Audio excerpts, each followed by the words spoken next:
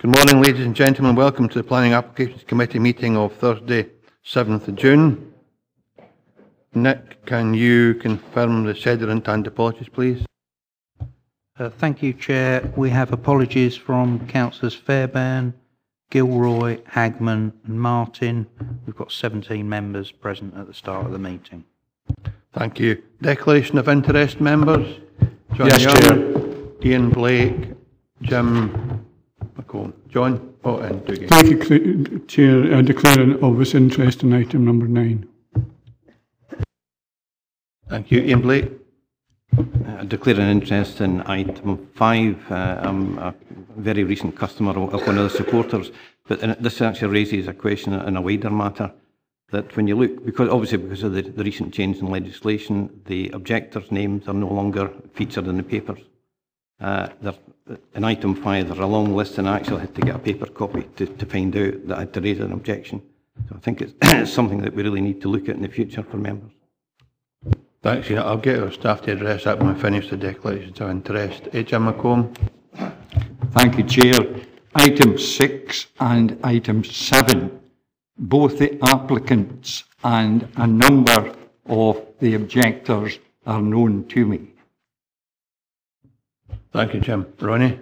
Uh, Item four, Chair. Um, I have an interest because I sit in Langholm using the Westerkirk Community Council when the decision was taken on the vote on the, on the applicant. So I'll need to leave the room, I would suggest. Okay? Thank you, Ronnie. That's fine. Dougie? Thank you, Chair. Item eight, I was approached several times um, by a member of the local community for this application, um, and uh, my only involvement in this was to provide advice on procedural issues around objecting. Uh, didn't discuss the application in any shape or form, and therefore there's no need for me to withdraw. Thanks very much, Dougie. Ian?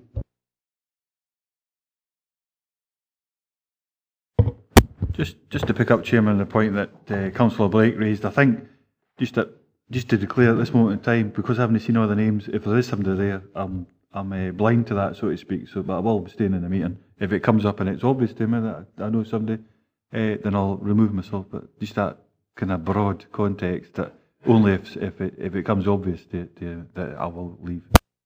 Thanks, Ian. I think that'll apply to each and every one of us. And I have a declaration of interest in items 10, 11 and 12 and 13 simply because I've attended community events in relation to the proposal. I've not involved myself in any way, shape or form with the plan application process, so I'll certainly stay here, but I've been involved in the discussion centred around these uh, gateway signs. If there are no other declarations of interest, we've come to the minute of meeting of 3rd of May. Is that a true and accurate record? Great, thank you. Okay, uh, Nick, can you take us through the process for everyone today? And I should say at this point as well that uh, this meeting is being recorded and the recording will be made available in the future for public listening. Okay, thanks, Nick. Thank you, Chair. The Planning Applications Committee will consider each application in turn as detailed on the agenda. The case officer or other appointed officer will make a short presentation addressing the determining issues accompanied by digital images. Any late information, amendments or corrections will be reported at this time. Members may ask questions of officers following the presentation on points of clarification. The Chairman has been provided with a list of eligible representatives who have registered to speak at this meeting within the period specified in council policy. No other persons will be allowed to speak. The chairman will invite those who have registered in advance to speak to make their presentation, after which they may be questioned by committee members. No questions may be asked of members. The order of eligible parties being heard will be as follows. Third parties objecting to an application, third parties supporting an application, statutory consultees objecting to an application, elected members of Dumfries and Galloway Council who are not members of the Planning Application Committee.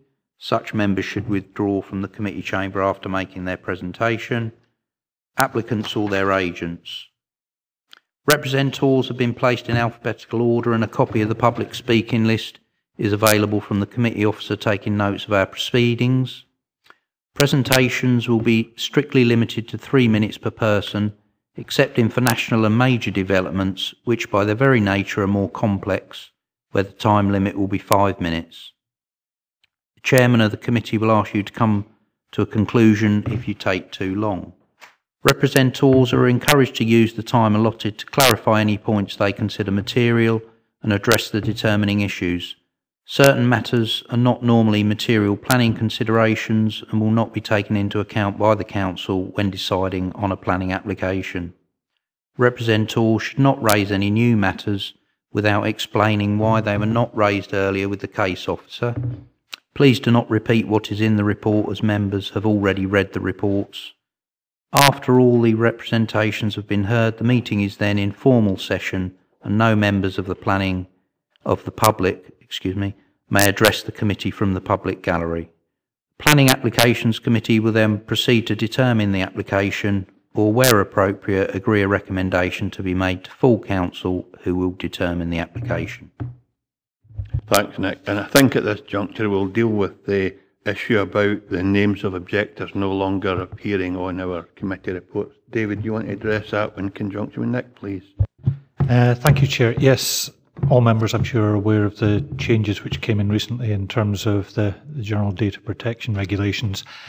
Um, I must admit, until it was mentioned this morning, this is one of these laws of unintended consequences. I hadn't thought around this one, but I can quite appreciate it's a very valid issue. What we've had to do is data subjects, which are individuals, um, until now, we've always redacted information which is personal data, such as phone numbers, email addresses, um, signatures, things like that, have never appeared online.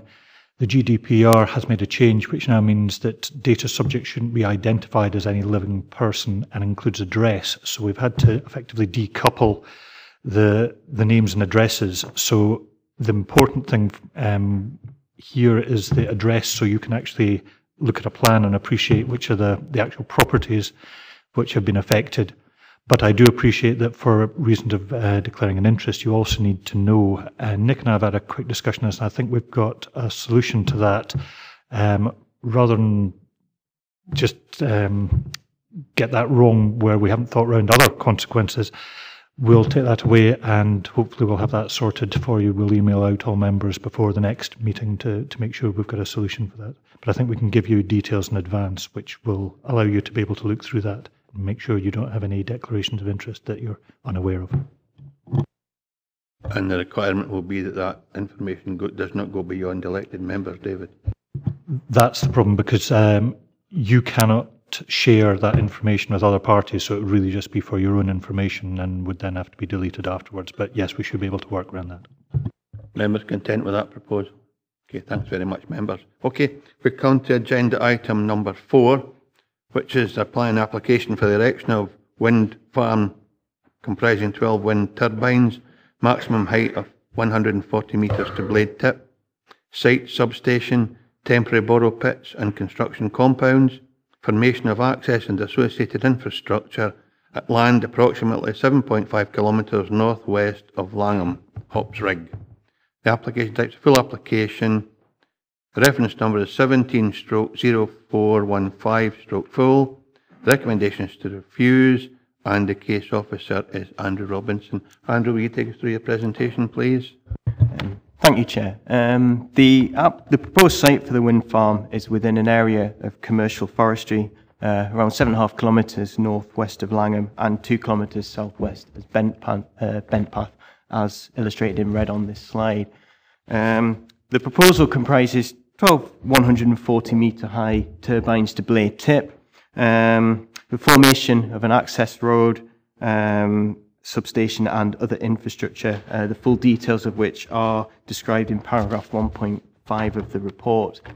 Um, this is proposed turbine elevations is a pretty standard three turbine uh, blades and the hub height and rotor diameter has yet to be decided. It's the blade tip to 140 metres has been uh, specified in the application. Uh, the proposal will require the felling of forestry, uh, where it's um, stated that 179.2 hectares of conifer would be felled, which is illustrated in pink on this slide. And this proposal shows restocking with around 15 hectares uh, proposed in the form of Scots pine and Sitka spruce, which is illustrated in purple and blue. Uh, the green areas are the areas to be felled. Um, theoretical visibility of the wind farms shown um, on this slide, where the green illustrates areas where both blade tip and hub height could be visible. Uh, the blue areas indicate uh, where blade tip would be visible. And the proposal uh, is situated with the West Langholm or Ewe Hill unit of the Southern Uplands uh, with forest landscape character, um, shown just here. Uh, other surrounding landscapes include the narrow wooded valley, which effectively follows the road up to Eskdale Muir, as well as the River Esk. Um, foothills with forests, castle, or and Eskdale units. Um, Southern Uplands, North Langholm, and Ewe Hill units, and to the south of Foothills, um, Annandale unit. And in terms of theoretical visibility within uh, the landscape character areas, this is shown within uh, on this slide. So the red shows where the most turbines would be visible, 11 to 12, and blue being uh, less with 1 to 2. But the key's in the bottom right-hand corner here. Um, in terms of landscape designations, this uh, shows visibility within the Langholm Hills Regional Scenic Area, which is just to the east of the site. And within the landscape architect's response, there's been reference to a number of recreational viewpoints. So we've included this just to, to show uh, what these are. So there's core paths um, shown in yellow. You've got the Thomas Telford Trail in pink and the Eskdale Prehistoric Trail which effectively follows the roads, um, the road up to Eskdale Muir and the classified road that runs through the forest. Um, paragraph 1.13 describes the cumulative um, wind farms in the area. So this slide just shows these geographically. So you've got the application site. Uh, I should say orange is, um, illustrates those that are in planning uh, or yet to be consented, um, and the green um, illustrates those that are consented or operational. So you've got the application site, uh, you've got Crossdyke, which actually has two applications, one of which was recently approved for um, an increase to the blade tip. So um, both uh, both applications are shown on there, but it's really just uh, one proposal. Uh, Ewe Hill, which is actually operational now, uh, Logan Head, which is minded to be approved, and Craig Wind Farm. Uh, there's a more recent application for Little Hart Fell uh, in here, and two to the south, uh, Minsca and Solway Bank, which are both operational. Uh, of ZTV. Uh, this first slide shows um, of impact with the proposal, Ewe Hill Wind Farm and Crossdyke. Uh, the green areas identify where you would visibility with Hopsrig and Ewe Hill. Uh, dark blue uh, would show Hopsrig and Crossdyke wind farm, and the red areas show where all three wind farms were potentially visible. And the second community of ZTV is between the proposal and Craig wind farm, where green areas are highlighted with both. Um, heritage assets in the surrounding locality are described in paragraph 1.4, and there's quite a, a, number in this area, so we've included this just to, just to identify where some of these are. Uh, the Bokenburn Archaeological Sensitive Area is just here, and this contains five scheduled monuments, um, effectively prehistoric settlements. Newland Hill Fort and Craig Housestead Fort are to the southwest of the proposal. They're actually just off this slide, but they're sort of further down here. Uh, Camp Hill Fort is situated to the northwest, which is just here. And then you've got the Castle Hill Fort further to the northwest. And Shieldburn Settlement, which is referred to in Historic Environmental Historic Environment Scotland's response, is situated just there. Um, and this slide shows theoretical visibility in respect of these heritage assets. Uh, the proposed access route um, is proposed to utilise the B723 road from Lockerbie to Eskdalemuir, where from it would actually propose to use the classified road that runs through the forest, which is to avoid um, restricted bridges at uh, and also at Enzieholm Bridge. And to access the site from uh, the B709 just to the south of Bent Path would require uh, um, an access upgrade, which has been illustrated in this slide. Okay, the remaining um, slides is to now show a selection of viewpoints and photos um, showing the proposal. So this one, uh, this first slide is taken uh, viewpoint one, uh, which is to the north of the uh, wind farm, and it effectively shows an existing baseline photograph on the wireline. So in blue is showing the proposed wind farm. Green is Crossdykes wind farm.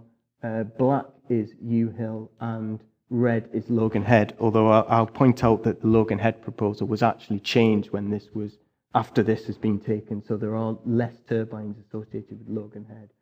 Um,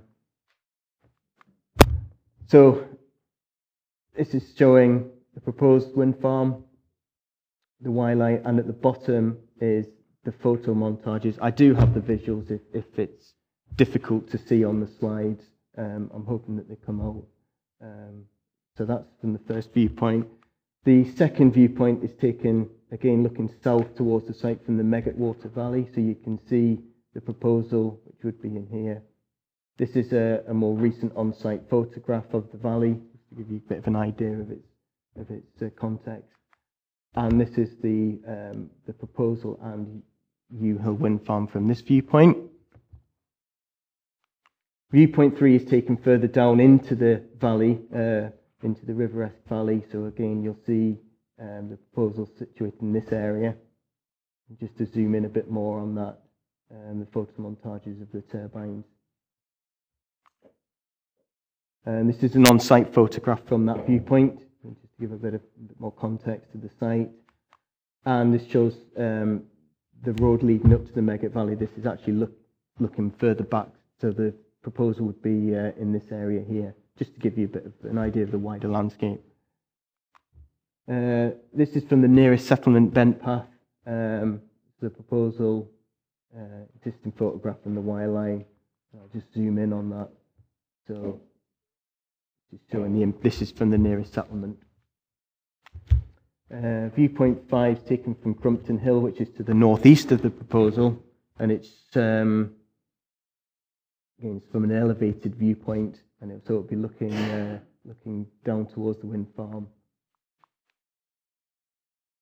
It'll be shown in here this cluster with uh, also Ewe Hill in the background, which is here, and Crossdykes. Uh, switching to viewpoints from the southwest, so this is taken from the road between Lockerbie and Langholm um, where you've got the proposal which would be in this cluster over here, and Minsca wind farm is seen here to the right. We'll just zoom in on, on the site. So you've got uh, Ewe Hill wind farm operational at the minute, Crossdykes consented, and the proposal here. And just slightly to the north of there is a viewpoint from Corrie Common, um, uh, on-site photograph shown here. So the proposal would be in this area here, and you've got Ewe Hill and Minsca Wind Farm is, is here. Again, I've just zoomed in a bit more so you hopefully you can see um, Ewe Hill Wind Farm, Crossdykes, and from this viewpoint, the proposed wind farm would actually sit behind uh, Crossdykes. Um, this is from the uh, Forest Hill Fort, which uh, the landscape architect has raised concerns about in terms of impact on the rec recreational feature and um, footpaths leading up to this uh, recreational uh, viewpoint. So it's looking southeast towards the site, and from here you'll have Crossdykes and the proposal um, situated in the foreground with Ewe Hill behind. And the final viewpoint um, is taken from the Esk Valley. So uh, this is the road down from Eskdale Muir leading towards Bent Path. Um, so you'll see um, Hopsrig wind farm in the foreground and other wind farms located behind. This is the zoomed in one. So uh, turbines that have been highlighted by the landscape architect as uh, problematic are turbines 7, um, 8 and 10. And we've just got some photos from this viewpoint just to try and give a, a, a wide appreciation of this, um, of the visibility of this. So this is taken beside the main road, um, application site in here. Uh, we've also taken some uh, photographs from further up in the valley um, because Eskdalemuir is you go down the hill towards uh, Bent Path. So the, from here you can actually see Ewe Hill Wind Farm um, more prominently and the proposal um, again would be sat in here. So Ewe Hill is sat in here. You can see where the valley opens out. That's comments made by the landscape architect. Um, in terms of the um, views from the archaeological features mentioned, this is from Craig Halstead's Fort, which is to the southwest of the site. Um, again, you see the proposal sat there between Ewe Hill and Cross Dyke. This is taken from Camp Hill Fort, which is the closest one to the northwest, so it'll be shown in, um, in combination with Crossdykes Wind Farm. And this is a photograph of, of from this viewpoint. This is more to give you a, an appreciation of the wider uh, landscape and, and the visual amenity um, walkers would see visiting this viewpoint. And finally, this is referred to um, in HES's comments from Shieldburn Settlement and also Newland Hill Fort, which is a similar direction from Craig Halstead's fort. Uh, so, in conclusion, um, officers have concerns regarding the design of this proposal in that its scale and siting of turbines, particularly on the northern valley edge, would appear overly prominent and overwhelming in relation to the scale and setting of the Eskdale Valley. It's also considered that the proposal would give rise to significant adverse visual and cumulative visual effects in combination with other wind farms from a number of sensitive visual receptors, uh, as shown in the slides. Um, consider the proposals fail to address the guidance in the Dumfries and Galloway wind farm landscape capacity study and is considered contrary to LDP policies IN1, IN2, OP1C, and OP2, and the accompanying supplementary guidance uh, on wind energy development is therefore recommended for refusal. Thank you, Andrew. Any members have any questions for the case officer? If there are no questions, then we have the agent for the applicant, Ian Sims. Ian, would you like to come forward, please? You have a, a five-minute window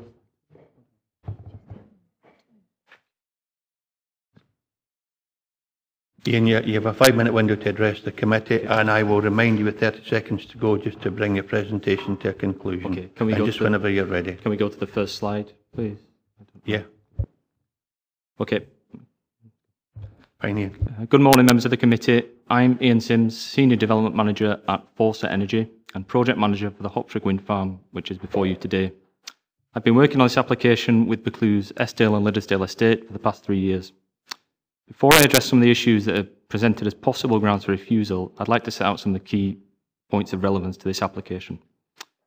All of the proposed turbines are within an area identified by Dumfries and Galloway Council as an area of greatest potential for wind farm development. Hopsrig forms part of the existing and approved cluster of development in this area, which includes Ewe Hill, Craig, Crossdykes, and Logan Head wind farms, which has been approved by this committee and is just awaiting a Section 75. These wind farms are shown on this plan. The significant effects of the application are localised, a point acknowledged by both the landscape and the planning officer. There are no other objections from the council's own internal consultees beyond the landscape officer or from statutory environmental consultees, including Scottish Natural Heritage, Historic Environment Scotland, or SEPA. Only one public letter of objection has been received and two public letters of support. This includes support from the Langholm Initiative. Suggested reasons for refusal appear to be almost entirely informed by the Council Landscape Officer's response, which we consider to be overly, overly negative, to overstate the magnitude of effects, and to not reflect the correct position in relation to cumulative impacts. Turning to these landscape issues, the committee report and landscape officer's response would lead the reader to believe the effects of this application are overbearing and that Hopsrig doubles the extent of this cluster in sensitive use from the north. We do not consider this to be the case, and I would like to explain why. Could you move the slide on, please? Viewpoint 14, shown here, is cited in the report as an example of Hopsrig doubling the extent of development. The wireline shown here is from viewpoint 14 shows Hopsrig with the operational turbines of Ewe Hill and the approved Cross Dykes and Logan Head turbines. Hopsrig is clearly visible, but it does not double the extent of development in this view. Instead, it sits as part of the existing cluster of development. Based on this evidence, I think the statement that Hopsrig doubles the extent of cumulative impact here is not correct and should not be used as a reason to refuse this application. If we could move the slide on. Viewpoint 15 and the area around Shore Rig are cited by the landscape officer as areas where Hopsrig is overbearing, a point which appears to inform the reasons for refusal. This line shows viewpoint 15. Again, Hopsrig is visible, but the turbines are not overbearing and are seen in the context of the approved Loganhead turbines. We can move on again. This is a view from Shore Rig. This line shows that a number of developments would clearly be visible from this location. It's difficult to understand looking at this how Cross Dykes, Ewe Hill, and Logan Head are all considered acceptable, but that Hopsrig is not.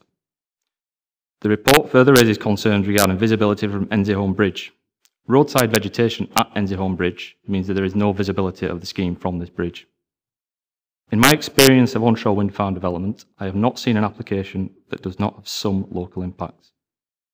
The vast majority of wind farms consented by this council will have some degree of local significant impacts. I would actually go further and suggest there are a few locations in Dumfries and Galloway where you could accommodate a wind farm of this scale with such a limited extent of significant impacts as we see here. In planning terms, we don't feel the recommendation prevents a reasonable balance and relies entirely on the landscape officer's response. It's worth noting at this point, the landscape officer also objected to the cross dykes tip height increase and to the Logan Head application, both of which have been considered and approved by this committee.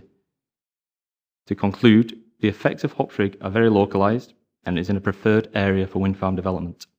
Hopsrig compliant with planning policy. Hopsrig has received very limited local objection.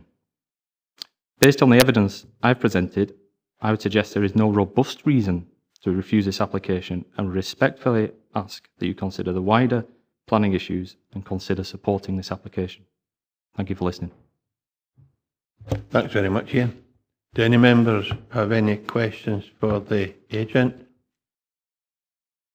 In that case, Ian, if you'd like to resume your seat, thank you very much for your presentation. Okay, members, we're now in session. Archie?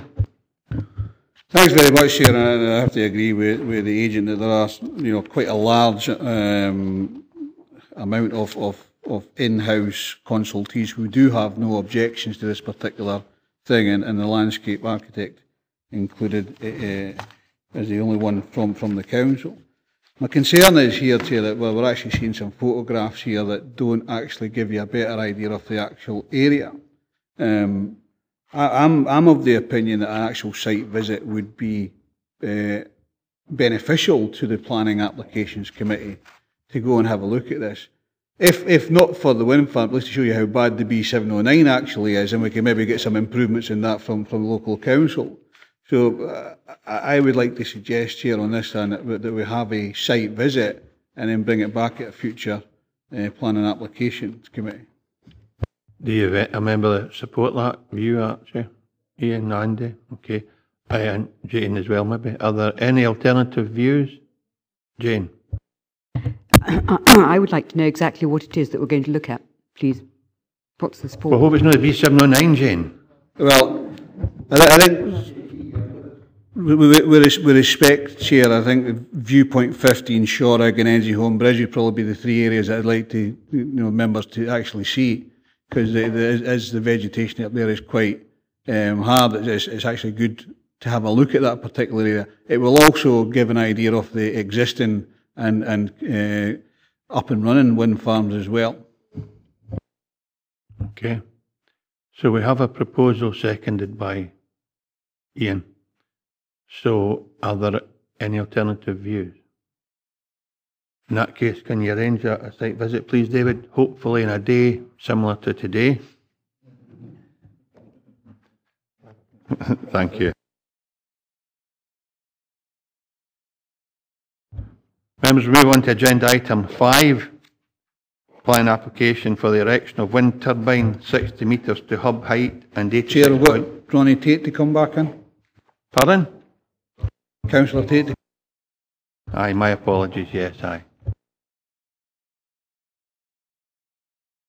Tracy, is somebody going to get Ronnie?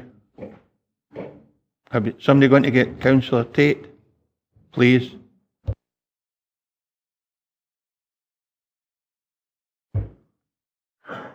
Agenda item four, Ronnie, the decision of the committee is a site visit.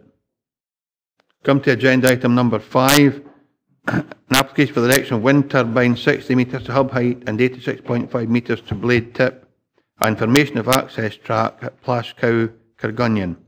The application type is full application. Recommendation is to approve subject conditions. Reference number is 17 stroke 2034 stroke full. And the case officer is Chris McTeer. Just wait until all members have vacated the room before you start, Chris, please. Or members have declared interest anyway.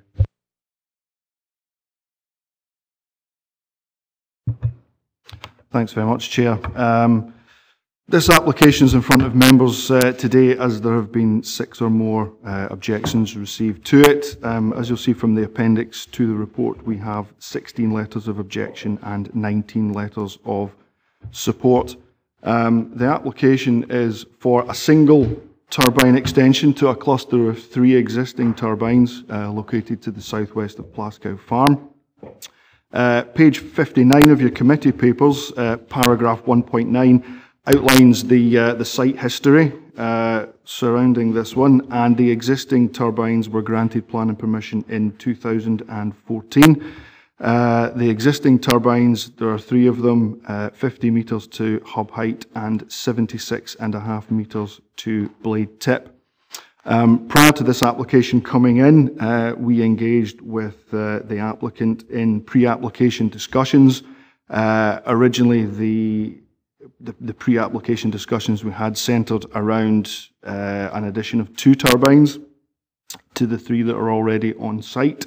Um, in two different uh, arrangements, uh, there's a, a linear arrangement where there was a turbine on either end of the three existing, and another option for the two turbines to be located either side of the central turbine, uh, forming a, a cross. Um, following discussions around uh, cultural heritage to the north and uh, just how the additional turbines would appear in the landscape, we were broadly supportive of um, the addition of a single turbine to the south of the cluster of three. Um, the proposal uh, utilises the same turbine model as the, the ones on site just now. Uh, it's an Enercon turbine model, and the proposal is for a 60 metre to hub turbine with a height to blade tip of 86.5 metres. Uh, crucially, the, um, the rotor diameter of the proposed turbine is 53 metres, which is identical to the three on site. Um, full details of the proposal are on page 58 of your papers uh, in paragraphs 1.6 and 1.7. Um, actually, if I'll just go back to the, uh, the location plan, um, the, the proposed turbine is to the south of uh, the three existing ones. Uh, you can see from the contour lines there that it is located at a lower elevation uh, from the existing three, and the site is accessed from the west from the C6S public road. Um, the slide we've got here shows um, a wind turbine, which members will have seen plenty of before. Um, it's just a standard three-blade horizontal axis turbine. Um, there's the site plan, so that's uh, you can see the location of the uh, the turbine relative to the other three. Uh, also, as part of the uh, the application, we have 180 metres of new access track and a crane hard standing, which you can see uh, in the uh, in the blue box there. Um, the site entrance, uh, utilises my only photograph. Um, the other ones that I took um, kind of highlight the uh, the quality of uh, the digital cameras that we use. The uh, rest of the visualizations are ones that were supplied um, by the, the applicant uh, using much better equipment than we have um, in-house. But uh, you can see the three turbines in the landscape there, and the uh, fourth one is located over the hill um, to, the, uh, to the right. Turning to the landscape character types, um, you can see the turbine located in the centre of the circle there and it's located in the uh, coastal granite uplands, which is uh, annotated as number nine uh, on the uh, the slide there. Um, it's just at the uh, the transition from uh, number five, which is the drumlin pastures there, so it, it kind of sits just in the in the slightly larger landscape.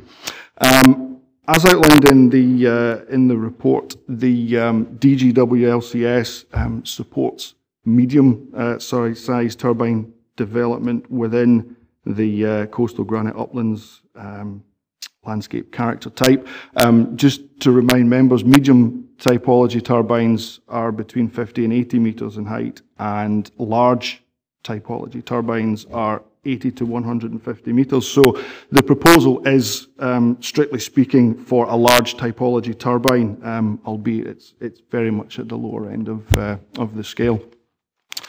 Turning to the ZTV, um, you can see from the, uh, the cluster of colours there that the majority of the views are within five kilometres of the turbines, with the remainder of the views more or less spread uh, to the north and west. But if I go back um, to the landscape character types, you can see these ones are, uh, the, the views are located from higher ground looking over um, the sort of lower lying drumlin pastures. So from high ground to high ground, they are um, they are quite visible there, as you can see from the uh, from the ZTV. Cumulative impacts um, are limited insofar that um, the other uh, sort of clusters of development you can see are, are located quite a way away from that, and anyone with uh, with a, a, knowledge of the local area will know that these uh, these three turbines are are, are quite isolated um, where they where they sit in uh, in the landscape just now. Um, the slide shows uh, route visibility from uh, the A711, which kind of runs through the centre of uh, of the circle there, the the very innermost one. so that shows the main views from the A711, that's the Kirkcudbright to Dumfries Road, and you can see the, um, the A75 uh, running just over to the west as well. Turning to the viewpoints, um, viewpoint one is uh, a place called Torquera, which is just to the south um, of the, uh, the proposed uh, turbine. So you can see the three in the landscape there, they're existing. And the wire line at the bottom shows the fourth turbine located to the right of the cluster there. And that one gives you the view. You can just see the blade sticking out uh, above the tree, above the large agricultural building there. Viewpoint two is uh, Knockwood. This is uh, looking south to north. And the wire line there shows the, uh, the proposed turbine uh, sitting to the right of the one in the center of the visual there. And that's what that one will, uh, will look like from there. Viewpoint three from the A711. So again, you can, uh, you can see the uh, proposal on the wireline is to the right of the existing cluster of three. And that's what it'll look like there. Now, viewpoint four is uh, from the gliding club. Uh, so we're looking from east to west with the uh, hills behind the viewpoint, so effectively with, uh, with your back to them. Now, you can see from the wire line and from the visual there, the uh, fourth turbine uh, sits a bit higher up um, than this one. Um, However, this viewpoint is uh, at the end of a, a, long access track through a forestry, commercial forestry plantation, uh, which is kind of situated behind you if uh, you were looking at this view. So the views um, are kind of limited in this way where the turbine does appear slightly higher than the, uh, the three in situ. Turning to views from Kirkgunzeon, uh, this is uh, looking to the north, and if you look at the uh, the wire line at the bottom, the uh, proposed turbine is sitting just to the left. There it is in the distance, just above the trees. Longer distance views, uh, this is just to the west of, uh, of Dalbeattie. Now, you might struggle a wee bit, but I think the, uh, the wire line kind of shows the, the sort of the, the, the best view of the turbines here, um, kind of sandwiched between the, uh, the trees just behind Dalbeattie and the hills in the background. Um, I did try to get some longer range views uh, with our digital camera, but even zoomed in, you couldn't really see them, although they were visible to the eye. Um, and there's the uh, the proposed turbine there is just uh, is slightly whiter um, than the uh, than the ones there, so it's just kind of mid shot, just above the above the trees there. Um, just uh, looking at the uh, the summary of the landscape and visual impacts, um, it is recognised uh, that the adopted guidance that we have within the DGW LCS makes no provision for large typology turbine development within this landscape character type. Uh, the proposal is at the very lower limit uh, of the, the typology, and there are several mitigating uh, factors which, in my opinion, would allow a departure from this guidance. The, um, the candidate turbine is identical to the three that are already in situ. The, um, the rotor diameter is the same sweep. Um, it's finished in the same um, sort of semi-matte pale grey finish that most wind turbines are. But crucially, the base is located at a lower level than uh, the three existing ones. Um, the council's landscape architect hasn't objected to the proposal. Um, and in conclusion, um, it's considered that the proposal complies with uh, relevant policies from the LDP as noted in the report, and for the reasons outlined, uh, it is recommended that the application is approved, subject to the conditions listed from pages 76 to 82 of your committee papers. Thank you. Thank you, Chris. Any questions for the case officer? I've got David and then Jim McColm. Uh, Chris, I know that some of the objectors are uh, raising the sort of cumulative effect of uh, other wind turbines in the area, and I, I, don't think on your graphic there you had the wind farms, uh, the turbines situated uh, along the military road, for example, which are quite near. Maybe I missed them. Just the other side of the A711. There are uh, turbines on the hill there. The sorry, um, yeah, the, um, the, the the visual is taken from um, the uh, submitted uh, the submitted sort of plans that came um, with that one. But uh, in terms of uh, the cumulative, I mean, uh, the landscape architects um, sort of fairly detailed responses is in the report. Um, so, I mean, cumulative issues were taken into account. Um, I'm just questioning. Mm-hmm.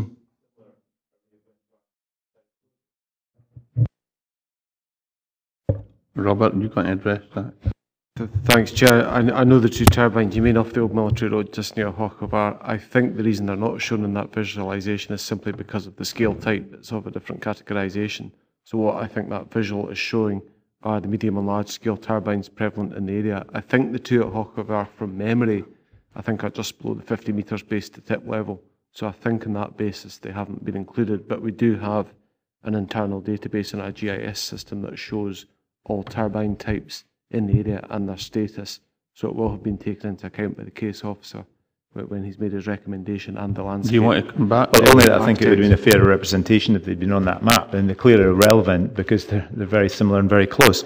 Um, in 4.21 here, um, it, it ends up by saying there is no scope to accommodate turbines of this size in this landscape character unit. You, I mean, you, I think, commented and said, well, this doesn't matter because they're slightly lower situated. I mean, on that basis, you could have a wind turbine of 150 metres high if it was lower than one pre-existing one that was slightly higher or 70, 80 metres higher. Uh, would that be the case?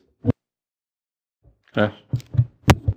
I mean, the, the report does clearly state that, you know, I'm, I'm not I'm not denying that the, um, the, the the guidance that we have says that there's there is no scope for it, but we believe that the you know, the, the lower level, the same turbine model, same blade suite. So what you see visually in the landscape would appear to be a, a natural extension to it. I mean, I'm, I'm, I'm not going to disagree with, um, with the DGW LCS. I mean, it's, it's, it's, it's there and, you know, it's a, it's a document we work with all the time, but I, I do acknowledge that, yeah.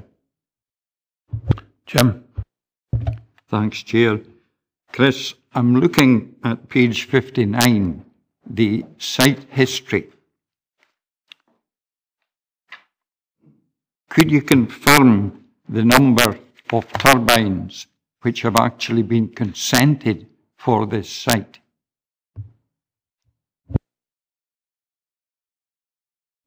Chris.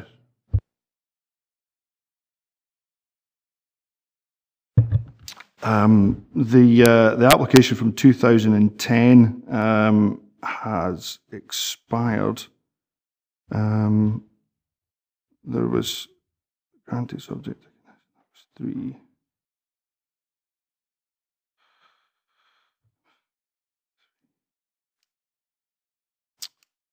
Only three the three that are there. Um, so the uh, original application was 13P20129. Um, that was uh, granted in March 2014. And in August 2014, 14P20310 um, was a Section 42 application to vary the original one. So, yes, there, at, at, that point, there would have been two extant conditions, either uh, two applications, sorry, either of which could be could have been developed. Um, and so, yeah, the um, the larger one was uh, was implemented. Um, so, effectively, um, the 2013 one became null and void because the other one was was developed.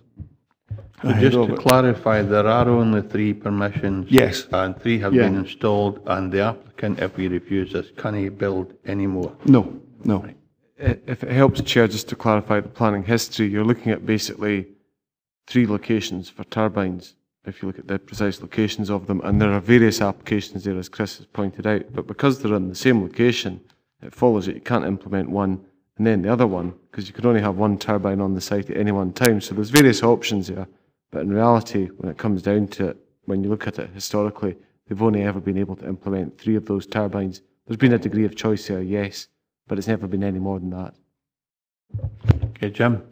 Chair, that is the information I was seeking. So the applicant is not sitting with three unimplemented permissions. Thank you. Good, thanks, Jim. Okay. Other questions for the case officer? In that case, we have, we have one speaker. We have uh, Rory Young, who is the applicant. And as this is a local application, Rory, you will be restricted to three minutes to address the committee. I will ask you with 30 seconds to go to draw your presentation to a conclusion. So just whenever you're ready, sir. Good morning. My name is Rory Young. I am the farmer who is applying for permission to extend existing three turbines at Plascow Wind Farm with additional one turbine. The purpose of this proposed extension would be to meet the increased demand for electricity on our farm and is not for export onto the grid. As we continue to develop our rural business, our need for electricity is growing significantly. Our free range hen sheds are now all powered and heated by 100% renewable electricity. By connecting our turbines to our new ground source heat pump system, we are able to use our renewable power combined with water taken from a local burn to produce heat for our poultry houses in a wholly sustainable way, thereby moving one step closer to our ambition of being the first to produce a carbon-free neutral, a carbon neutral free-range egg. We have planning consent for a further extension of our free-range egg business due to commence later this year. With a fourth turbine to supply the electricity demand, we would expand our private electric network to link this wind farm to the new free-range unit.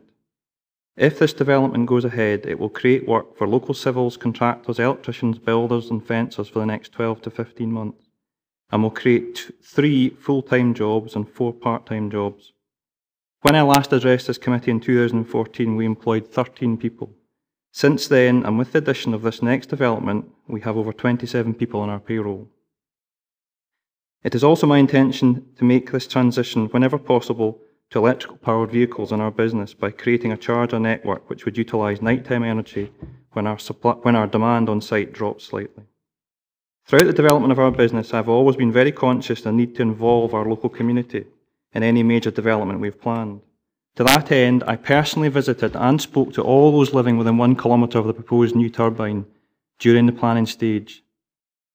After consideration of their suggestions, I'm pleased to say that none of these people went on to object to the project. In fact, of the 34 letters of representation received by the Council, the majority were in support. After the original three turbines were granted planning consent, I set up a charitable trust with the help of Stewartry CVS. This trust now has a board made up of local residents who have awarded in excess of £14,000 to local groups, including an outdoor classroom at Kirkgunzeon Primary School, contributions to Dalbeattie and Kirkgunzeon Church, Dalbeattie Men's Shed project, and a study fees for a local student. As part of this proposed extension, I want to, I want to take the local involvement another step further by offering by offering a 20% stake in this turbine to make it a truly community-owned project. One question which I also get asked regularly is, is this the last turbine? And I can honestly say, and I'm happy to put on statement here today, that this, if we're lucky enough to cons get consent, will be our final turbine on Plascow Hill. Thank you. Thank you very much. Uh, members, do you have any questions for the applicant? James, uh, David? Thank you, Chair. Uh, uh, Rory, I'm reading here that um, you're, I guess currently, it says since uh, June 2015, um, creating enough electricity to supply uh, the equivalent of 2,000 homes. So um, does that electricity uh, power your farm? So you'd be up to 2,600 or so um, houses worth of electricity that you're using there for your farm, is that right? We, we currently have a 1500 kilowatt connection to the grid with Scottish Power, but that's restricted. We're not allowed any more export, and the three turbines that are on site just now are connected to our farm business through a private network. So what happens is we get first access to that electricity, and any electricity that we don't use then spills onto the national grid. So if this additional turbine were to be given consent, then we would not actually be able to export any additional power onto the grid because our grid connection is not expanding. So the intention is to use as much of the energy as we can on site. We're, we're heating, we use around about 6 million kilowatts of heat a year, which is quite a lot of heat to heat these hens. So we, we do use a lot of electricity on site. And we actually, actually have a document here which this is a, a, a, pictorial graph of the software which manages our internal network, and the orange lines bars show the consumption of electricity on a 24-hour period, and the white line shows our generation. So you can see there are periods there when we don't produce enough electricity, and these are the periods which we're trying to, to fill with an additional turbine. We also, at some point in the future, will look into battery technology as well to try and help. There are obviously periods where we're producing more than we need, and these are the times at which the electricity gets exported onto the grid. So what we're looking to do is we, we effectively have to work on averages. Um, obviously, the wind doesn't blow hard all the time. On a deal like this, we don't generate much electricity, so we have to work on averages. And on the average, throughout the course of the year, we don't produce enough electricity for our demand, especially with this planned extension of our poultry business later this year. So we're looking to use this software to help us analyse different technologies.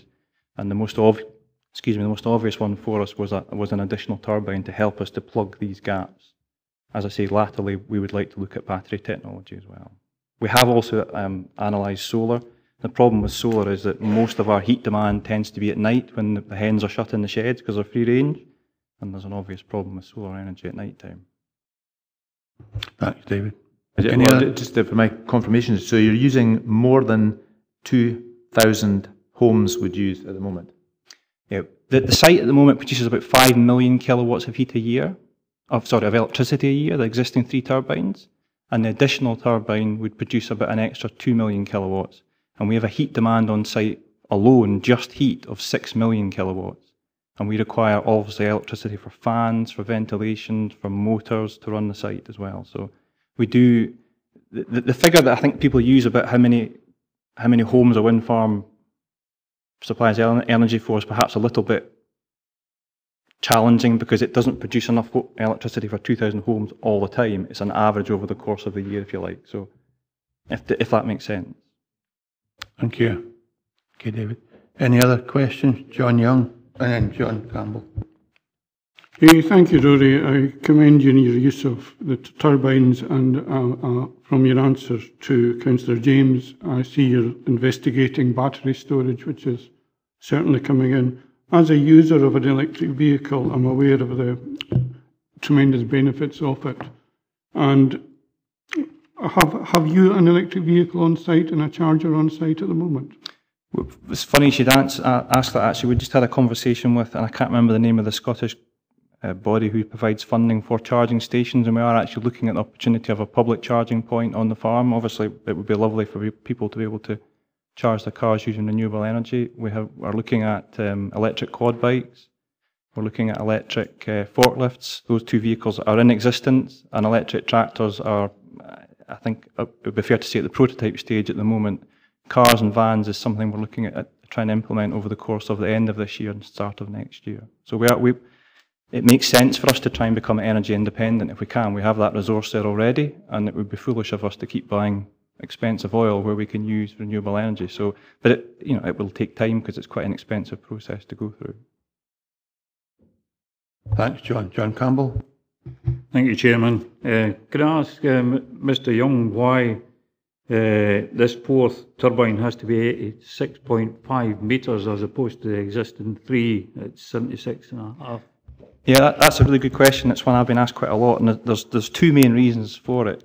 The first one is that I think, as the, the planning officer pointed out, the site this turbine sits on. If, if I go backwards, originally we, we tried for, for two extra turbines, which was to try and again plug these holes, it's easier to do with an extra two turbines than it was with one, and the software gave us that information that we, we required two extra. But after consulting with the planning authorities and some of the locals, they felt that the turbine closest to Kirkgunzeon was too invasive, and that was the reason we dropped that. Um, so the reason that the, the, fourth one at the south end of the site has had to go higher is because the location that the base will be built on is seven metres further down the hill. So if we'd built the same height of turbine, uh, it would effectively have been seven metres above sea level, lower than the, the existing three turbines, and that would have meant roughly a 6% loss in energy over the course of the year. So going that 10 metres up, and unfortunately the manufacturer doesn't allow for anything between 50 and 60. There is only a 10 metre increment in their, in their towers. Going that extra 10 metres gives us a 6% extra energy. It means that above sea level and visually the turbine is only appearing 3 metres taller than the existing ones, which is quite hard to determine from a distance. Uh, and also being perfectly blunt about it, that this turbine, as far as I'm aware, if it were fortunate enough to be given consent, would be one of the first in Scotland of this size, which would be unsubsidised. There is no feed-in tariff, there is no subsidy available to this turbine. So I'll be honest, we need that extra 10 metres to give us that extra 6% energy effectively to make it financially viable. Thanks, John. Andy? Uh, thanks, Chair. um, good morning. I'm, I'm, just I'm trying to get my head around a bit here the current development, um, you're at the maximum contribution to the national grid. Am I right? That's what you said. Sorry, say that again. The the, um, the maximum you're at the maximum contribution you can make to the national grid. Yeah. So the three turbines that are in yeah. situation just now are 1500 kilowatts capacity, and our grid connection is limited to 1500 kilowatts. Okay, so that, that's that's clear for me. And then you say that you need this other one to to feed the farm actually because you need it for the farm. So I kind of the question really here is um, if where are you on the national grid? I think is the first question. Um, if you're you're not getting enough electricity to run the farm to such an extent you're having to build, build another wind another windmill um, to do it, um, and you're not then entitled or allowed to contribute anything further to the national grid. Um, I'm assuming from this then you must have backup, other backup electrical source systems during the working day. So I think a simple question is, that, uh, so this is really for the uh, economic value of the farm and to your business, am I right? No, no. Uh, maybe I, am sorry, I'm not very clear explaining these things. The original three turbines were built in 2015, and when they were built, they were for 100% export onto the national grid. So that power was all for the first 18 months of that wind farm's life, all the energy went onto the national grid. Last year in September, we built our own private wire connection. So we, we buried a high voltage cable from the wind farm down through our, our business, effectively connecting our poultry sheds, our the business effectively to the wind farm. And at that point, we then started drawing that energy back onto the farm. So to go back to why why did we connect to the grid originally, it's because we didn't have the private connection. The private connection was very expensive, if I'm being honest, and we, we needed a little bit of time to, to convince ourselves that that was a sensible thing to do. Um, the, the connection onto the grid is an import-export connection. So as well as us exporting onto the grid, on a day like today, we, we, I can tell you now, we will not be generating enough electricity from wind, so we are importing as well. So electricity just travels down a cable through the route of least resistance. It's like water. And our, all of our energy that we buy on into the site is all 100% renewable. It all comes from a company called Good Energy. So whether we're running on the wind from our own wind farm or whether we're buying it in off the grid, it's all 100% certified renewable. So it, it's the electricity, we get first dibs on the electricity if you like. If we can't use it all, then it goes on to the national grid. But we're already using a significant proportion, as you can see from that graph, of the energy the three turb excuse me, the three turbines are producing. Thanks, Andy. Any other questions for the applicant? In that case, sir, we'd like to retake your seat and thank you very much. Members, we're now in session. Archie? Thanks very much, and I think this shows how good um, small business could actually make of renewable energy uh, and, and, and looking at the opportunities for some of the priorities of this council, we can maybe learn something from it. That being said, um, I would like to go with the recommendations and approve subject to the conditions. Okay. Uh, Andy, you're happy to second that. David? Can I ask a, a question um, of the officer at all, or not? Yes. Um, it was just that um, about this being a large turbine in an area where there's no scope for such turbines. Um, have we allowed other large turbines in this um, landscape character before? I would suggest not be able to answer that, and it's not relevant because it's this application we're dealing with. Do you know anywhere, uh, uh, Chris? Do you know the answer to that question? In in that particular unit um, down at, at, at Plascow, no, because those three turbines are the only ones that are that are there, and we haven't had any um, applications for, for large scale ones. There. Okay, so currently we have a, a, a, a recommendation. Jane? Um, I uh, I just want to say that um, I well I don't have any difficulty with the recommendation. Um, I, I, will put a marker down that uh, I'm with the the um, the council's landscape architect on this. I think it's only just accommodated within our policies, only just. Um, I, I, would also like to say to um, members that this is about the only series of turbines that I, have seen which actually are sympathetic in the sense that they are green from the bottom and they merge gently into a silver um, area at the top. They are actually well thought out in terms of aesthetics, and I, I commend that. Um, which all I think just helps one to, to feel a little bit more enthusiastic. But um, no, I think this is at the very, very edge of what is acceptable because it's very visible from a long way away. So I will go along with it, but um, with that proviso. Thanks, Jane. David? Perhaps you're the officer will help me with the wording, but I think for the gain of 6%, we're setting a very dangerous precedent here by uh, um, allowing a large turbine in this landscape character. So I would like to be against this in some kind of way that you could help me. I think it contradicts OP1 and OP2, by the way. Well, you'll need to start because David's job is not to write a, a recommendation. All right, okay, well, in that case, I think it contradicts OP1, OP2. It's a, and um, it, it's um, in contradiction to the aims of the DGW LCS, Mr. President, and um, I make that amendment. Thank you. Would that be an acceptable amendment, David? Yes, I mean, basically the, the grounds of concern here are um, probably just an inversion of what's at the top of page 75 to a large degree, that by virtue of the fact that this is a, a large typology turbine, uh, you consider it to be unacceptable uh, in that area. So that's acceptable. David, do you have a supporter for that? we have a, a, a proposal to go with the recommendation. It's seconded. We have a, an amendment submitted by David looking for a seconder. And if there's no seconder, you're uh, oh, Ivor? It was just with regard to the motion. Are we taking this as an exception to policy because it's just slightly out rather than actually agreeing it? No, it's an officer recommendation. and It doesn't say contrary to policy. Well, it does, in that case it is, aye. Is that what it says, aye? So it's contrary to policy, yeah.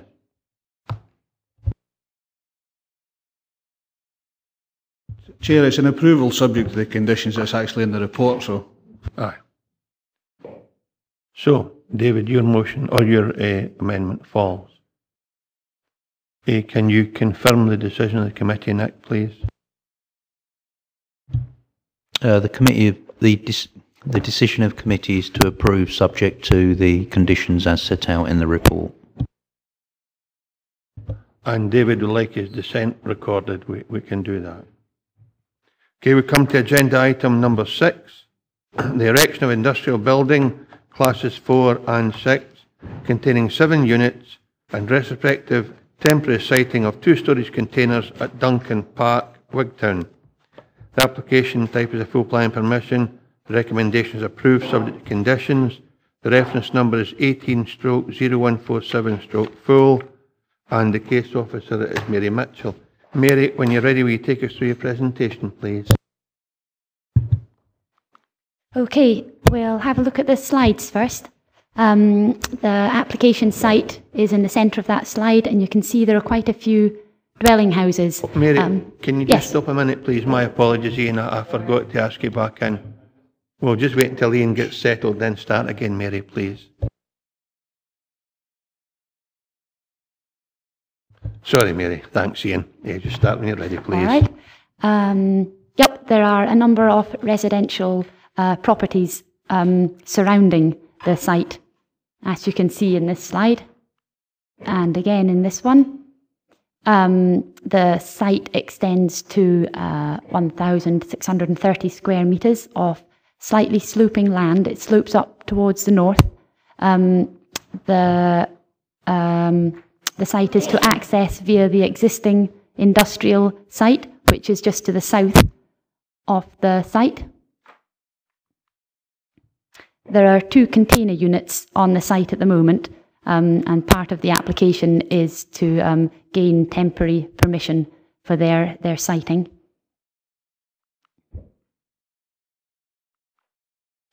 Um, it's proposed to erect this L-shaped building. Um, it has seven units inside it. There are nine parking spaces. As I said earlier, the uh, vehicle access goes via the existing Duncan Park Industrial Estate. Um, there are grass bankings around the side of the, the site. Um, the grass bankings are much higher towards the north of the site and they, uh, they diminish in height as you go towards the south. Um, there's a proposed two metre high screen fence along the eastern boundary as well, which would uh, screen the rear gardens of the houses that you can see on the right hand side.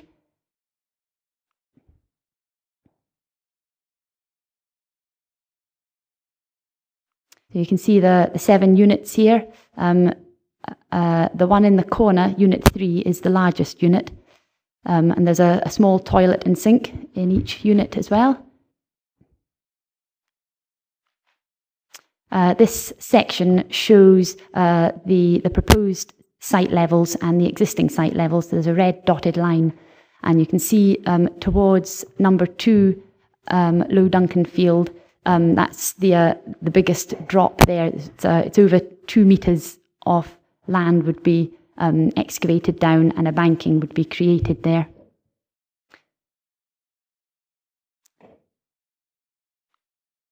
And these sections show um, what the views would be like um, from the, the north, the west, and the east um, sides of the building. Um, so the top one, the north boundary, that would be from number two, Low Duncan Field. You would see um, the the existing screen fence there, and just the top of the the roof. From the the west is um, there was a, a, house which was approved on uh, a site adjacent to the west of the site. Um, it's not erected um, uh, yet, but that's the view that they would get from that side. Um, and then on, from the east side, which is the rear uh, gardens of those four dwelling houses, um, you would see the this new screen fence and uh, the top of the, the roof and a bit of wall. Uh, the site photos. So this is looking along Jubilee Terrace. Yes, the site entrance is just on the right.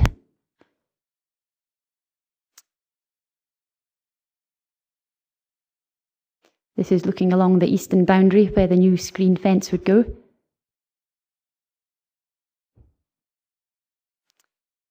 That's looking northwest. This is at the top of the site, looking south towards the existing industrial park. Um, this is the application site, and just beyond the stub and wire fence is the, the application site which was approved in December 2017 for a new house. The existing screen fence at the, the north boundary of the site.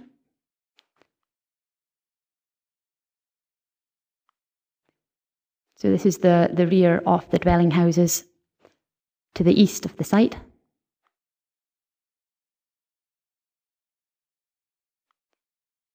That's number two, Low Duncan Field. Again, that's the site of the new dwelling house in front of you. This is looking down Jubilee Terrace. This is the existing uh, industrial units at, Dun- at Duncan Park.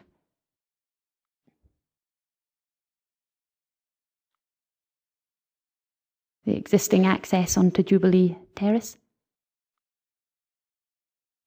Um, there were a number, uh, 22 objections received against this application, including one from the Wigtown Community Council. Uh, these objections had been submitted prior to the amendments uh, being made. The main amendment the applicant proposed was for the units to exclude use, use class 5, which is for general industrial use. Um, the applicant proposes to have just use class 4, which is for business, and use class 6, which is for storage and distribution only. Um, use class 4 is by definition compatible with a residential area. Uh, use class 6 uh, in this circumstance has an element of self regulation due to the limited vehicle access and the limited scale of the units. Uh, other amendments submitted showed a level site with the grass banking and the screen fence to the east boundary, as you saw on the site sections. Um, these, uh, this reduced the visual impact of the building and also the impact of uh, any overlook or privacy concerns. Um, it's considered that the amended proposal would not impact detrimentally on the residential amenity of the area, and additionally, the proposal would provide an opportunity for economic growth. Uh, the recommendation is for approval subject to conditions. Thank you, Mary. Any question? I've got Andy and then Jim McColm. So just for clarity, is, is it on the LDP as white land? Is it, that's what it's shown as, is it? It is, it's use? unallocated land. Thank yes. you. Jim McColm. Eh, just following up that point, as unallocated land, it could equally well accommodate housing. Is that correct? Yes. Subject to the same Yeah. sort of um, uh, amenity and Jim, you want to road come back? Yes. A, a second point, uh, Chair. The original proposal, you said, Mary, was for eight units. This has been reduced to seven. But has the overall footprint of the building been reduced? Mary. I would need to check that. Um, not significantly reduced. I'm, I'm afraid I haven't. I hadn't measured the original um, footprint area. Sorry. Uh, David has suggested you might ask the agent, they, they, they're present, you'll get your opportunity then, Jim. Although clearly it will reduce the vehicular flow because there will be less uh, unit space available to individual businesses. Uh, David McKee. Oh, it's just to look at the pictures you've got. The the people that live in the residential properties don't seem to use the back area for their cars or anything like that. And with the fence, I think you're going to put up that will be blocked off anyway. Is that the situation? Mary. Sorry, you, you, you think they park their cars? on the they, industrial they don't site. seem to they don't seem to access the houses from the rear or the gardens from the rear, and this is going to be closed off. So if they're wanting to can take stuff out of their garden rather than cart, I don't know how they get it, to cart it through the house or whatever. It's uh, how how they would do that. We didn't seem to use it now. That's you do, uh, they've got a, got walls there, and it didn't seem to use the back access. I, I, I was just wondering, once that fence is up, that's it. They've had it. As far as I know, there's no existing access from the rear to the rear gardens for those houses. It must just access through the houses. Aye, but we, we Well, don't. no, there's no free- objections, so we'll just let it go. It that's Well, we fine. don't provide free access through council land or anybody else's private land, the joke. If it's no access, there's no access. Uh, Ian Blake, did you want to speak? Yeah, yes, Chairman, thank you. Uh, the relevance you made to Class 6, you said it was self-regulating because of the, the size of the buildings and the access. Uh, that doesn't, however, consider the, the hours of business that a distribution centre may have. Would you like to comment on that? Mary? No, I hadn't included any conditions to restrict the hours of business or the, the days of business. Um, like I'd said, I, I thought it was self self-regulating enough. Ian? D- David might want to clarify that for you. D- Ian? We we did look into that um, as whether or not that was going to be a, a necessary thing to actually add. Came to the conclusion that it, it wasn't necessary uh, to actually do that, but obviously it is a matter of which if members have concerns about it, it would be open to yourselves to attach a, an hours of operation condition, but that would then apply um, a greater restriction on the, the use of it, obviously. Yeah. I may come back on that one during session. Fine, Ian, okay. Are there any other questions for the case officer? In that case, we have two joint speakers, Hazel Smith and Jack Vance. Eh, oh, Jim, sorry. Thanks, Chair. Mary, can you confirm that there are no other areas of land designated for industrial use in Wigtown? Mary?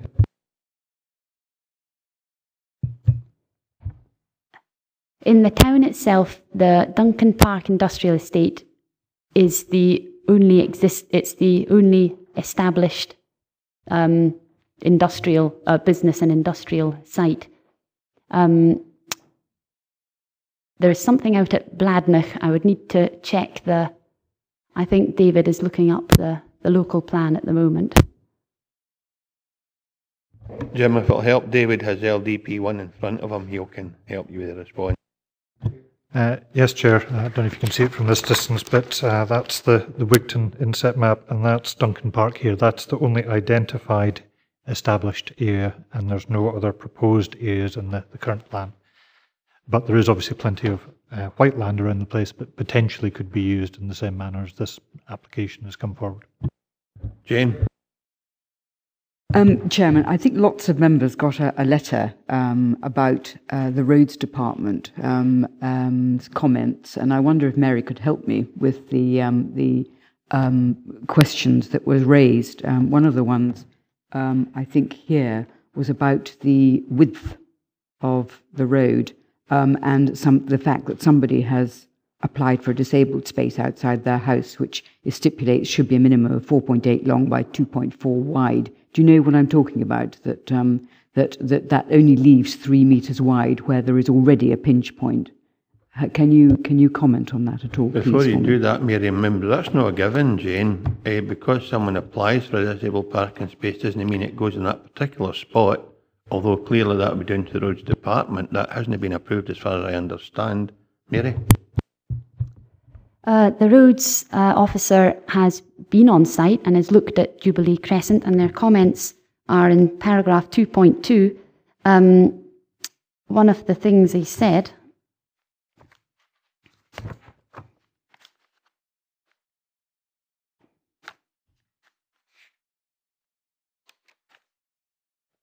Um, they, they know that refuse collection vehicles currently service the area and there is no knowledge of difficulty accessing along Jubilee Terrace. Um, the, develop, the development location would not be suitable to access by large HGVs, um, but there's no reason that, you know, sort of uh, vehicles the size of the refuse collection vehicle would have trouble accessing the site. Jane?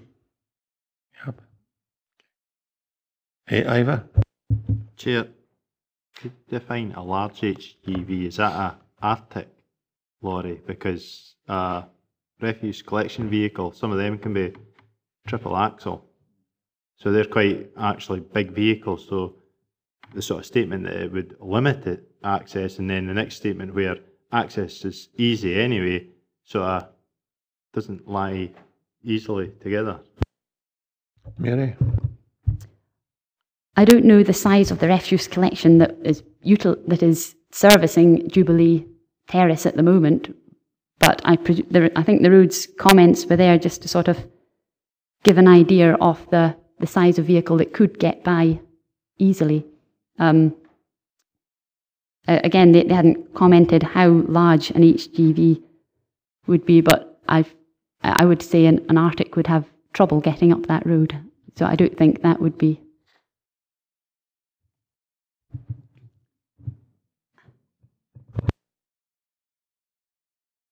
He might be able, or he or she might be able to describe what type of vehicle might be accessing the, the, the respective units. Alan? Sorry, Chair, just from previous experience, I think geometries would tell you, which we maybe can't see, maybe shouldn't be adding this, but I think it's a standard 10 metre radius and a 6.5 metre wide road would allow all sizes of HGVs along that road and it would change accordingly. So if it's below 6 metres, it's it's def- definitely reduced uh, access level. But I, again, it's I'm only saying that in, in regards to experience, and this is the I don't know. You kind of see the geometry is on that, so take it with a pinch of salt if you want. Thanks, Ian. Uh, question, James, Jim, and then Andy. Chair, it's simply a request to go back to the slide which shows the access road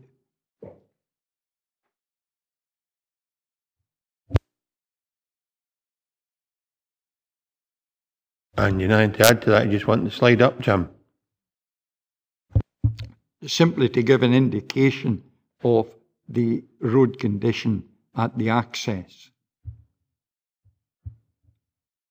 Of course, that'll vary by time and depending upon what cars are sitting there at the time, because they're obviously mobile. Uh, I've got Andy. Um, thanks, Chair. It's kind of the same question because I, I suppose we're not in session, so maybe I can do it later, but the proposed businesses going in there, I, I can't see the delivery company sending a wee van all the way to Wigtown with a wee lot of wood. They're going to send the big lorry that delivers everywhere else. So that, that, that then doesn't sit with the road safety and access bit because I'm, I'm looking here and, and saying seven moderately sized units would not generate a significant employee travel to work impact. But as a town centre location, bus, right? um, basically, foot would present viable transport alternatives to, to car travel. That, that to me doesn't resonate with um, knowing that area because how many buses a day are there down there, for example? And, uh, you know, where are the potential staff in these businesses going to come from? This is making an assumption they're all going to be within a few hundred yards so they can walk or bike. So it doesn't, it, it, it doesn't sit comfortable with me, but maybe better doing this in, when we're in session, Chair. I could rather ask Mary to comment on that. Aye, because also the, the, the argument about it might only be small vehicles that hire the units and therefore there might never be a need for a large vehicle to travel that road. It's all speculation. It would maybe better no enter into the now. David McKee. Oh, it's just in the same thing. If, there, if there's delivery going there, they'll surely, surely know what the access is like and send an appropriate vehicle. If they send an Arctic and it can't get in, they either stand on the road and unload it or they take it away back and put it into a vehicle that's got access. I think we're speculating because the only access vehicle might be a post office van delivering mail. Uh, it depends what activity is taking place in the unit. Uh, John? Hey, thank you, Chair. I'm, I'm concerned about the possible noise impact, and I wondered if the, the, the proposed wooden screen fence will have no sound absorption qualities whatsoever. Would you consider putting a condition on to make it a, a, a more absorbent barrier than just a simple wooden fence? Mary? Uh, use class four um, says that the the usage should be compatible with residential areas, and that includes the amount of noise that they make. So there shouldn't be uh, an excess um, amount of noise, a amount of noise that would disturb residences. Thanks, John. Jim Young? Hey, Jim McColm? Thanks, Chair. Eh, just getting back to 4.13, it, it's not really a town centre location. This is closer to the edge of the town.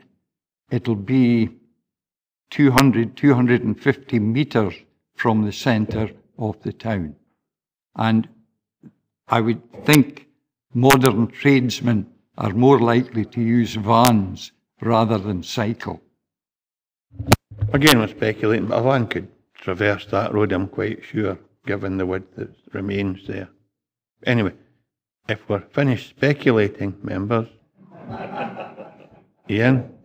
A very, very small point, because my understanding there's an existing use, use there already, and if an Arctic or whatever size of vehicle want to come along, there's no restrictions on them, and ultimately that's material when it comes to the consideration of the, the application that's in front of us, I think. Would that be correct? Mary? Yes. Members. Right, we have the agent and applicant Hazel Smith and Jack Vance. You will have a joint three minutes, no three minutes each, a joint three minutes for a presentation. And then if you'd kindly remain in your seats, I'm quite sure members have some questions for you. And just whenever you're ready, and I'll remind you with 30 seconds to go to draw your presentation to a conclusion. Um, good afternoon. Uh, this land was declared surplus by the Dumfries and Galloway Council in August 2006. After two failed potential sales, the land was advertised in the open market in March 2007, with the latest sales particulars being prepared in April 2013. This land has been maintained by the Council for this period of time and left unused until my offer was accepted to purchase the land in February 2016 with the aim to build industrial units for my own and other local businesses. Although being advertised as industrial land, this site doesn't form part of the designated industrial land on proposed Local Development Plan 2 for Wigtown. However, this site is part of the existing Duncan Park Industrial Estate and has a shared access. This access limits the use of land solely to industrial use. The Planning for Small to Medium Business Guide by Dumfries and Galloway Council Planning Services states the number one priority is to build the local economy, and that small to medium sized businesses are vital to the growth and support of the local economy. The existing units at Duncan Park are all occupied by long term tenants. I feel there is a demand for the proposed building. After speaking with Nick Lane from Dumfries and Galloway Strategic Plot uh, Property Services, who is responsible for looking after the established industrial buildings at Duncan Park Industrial Estate, he informed me that he receives between three and four inquiries per year from persons wishing to rent a unit in Wigtown. The existing units are the only allocated site in Wigtown for industrial land. With no alternatives and no marketed industrial sites in the surrounding area, I feel this site is the only option for development. After submitting initial plans, I never expected the volume of objections. I was invited to, local, to, the local community council where two objectors were also present. I listened to their concerns and recommendations made from both the community council and objectors present. We worked with the community on planning to address the points highlighted and revise our drawings with, with reducing the size of development from 8 units to 7, external finish of the building more in keeping with the surrounding properties, and boundary treatment, providing grass banking with the option to plant shrubs. Lighting concerns were addressed, and most notably, restricting use from Class 5 to Class 4 and 6. You have 30 seconds to go, sir. I feel the proposed units will aid to the expansion of other local small businesses and my business with the intention of creating more jobs in the future, therefore supporting the local economy. Thank you. Thank you very much. You just remain, please. I'm sure you'll have a number of questions. Questions for the applicant and agent. I've got Dougie, Joe McKee, and Elaine, and then Jim. Thank you, Chair. Um, you will have heard reference uh, to our discussion about um, vehicle access and the, the speculation, as, as, the, as the Chairman described it. But in the case officer's report, she, she makes reference to vehicle movements being self-limiting. Um, could you perhaps um, advise the committee what consideration you've given to the vehicle movements, uh, your response to the concerns that the committee has about, you know, um, the potential impact on Jubilee Terrace and access? Uh, yes, so the units, uh, there's my own unit, which is the largest one that was proposed in the corner. Um, the largest vehicle I'll get is just a, a long wheelbase van. There's, um, I've never been trading for 10 years and I've never needed anything larger. If there is larger deliveries, there'll be two site. So, and uh, as for uh, other units, um, the actual scale of them units is pretty small. They're um, six metres by about nine, so I can't see there being a need for a, an HGV to uh, come for deliveries. It's that's just my opinion, but um, and even then, going back to the refuge collection, it is like the standard lorry that accesses that uh, several times a week. So, and also as well, through the same access, there's farmland. So, uh, there's a farmer travelling up there and moving cattle. So, I feel what we are proposing wouldn't be near as uh, larger vehicles as what's already using that access. Thanks, Dougie. Joe McKee. Uh, mine, mine is more, uh, uh, given they're talking about noise, are, are you looking to restrict hours of operation? Um, I feel with uh, going back to the noise, coming under, moving it from class 5 to class 4, that would be uh, in keeping with that. So if there was going to be people working at night, then it's obviously not going to be keeping in with class 4. So it's, uh, I, do, I can't see that being an issue.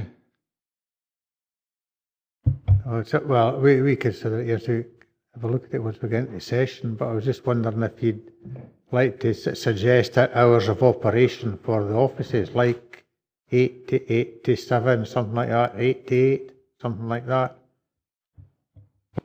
Uh, well, for myself, um, never really be starting earlier than half six, seven o'clock. And again, generally for myself, the two storage containers sited on the, the unit are uh, one of them is used for running my business just now, and generally we'll go in the morning, uh, pick things up, and generally we don't really go back in the afternoon. But um, I think, and speaking with other local uh, trades who would be interested in units, um, they're norm- normal like trade hours. They'd be like seven, eight o'clock in the morning, and it could be five, six o'clock at night. So, uh, Joe, Elaine.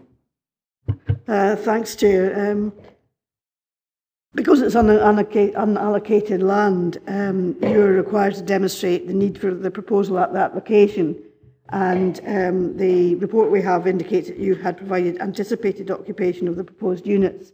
I wondered if you could say a bit more about the interest that's been shown and the need for uh, Yeah. these units to be there at, that, at this location.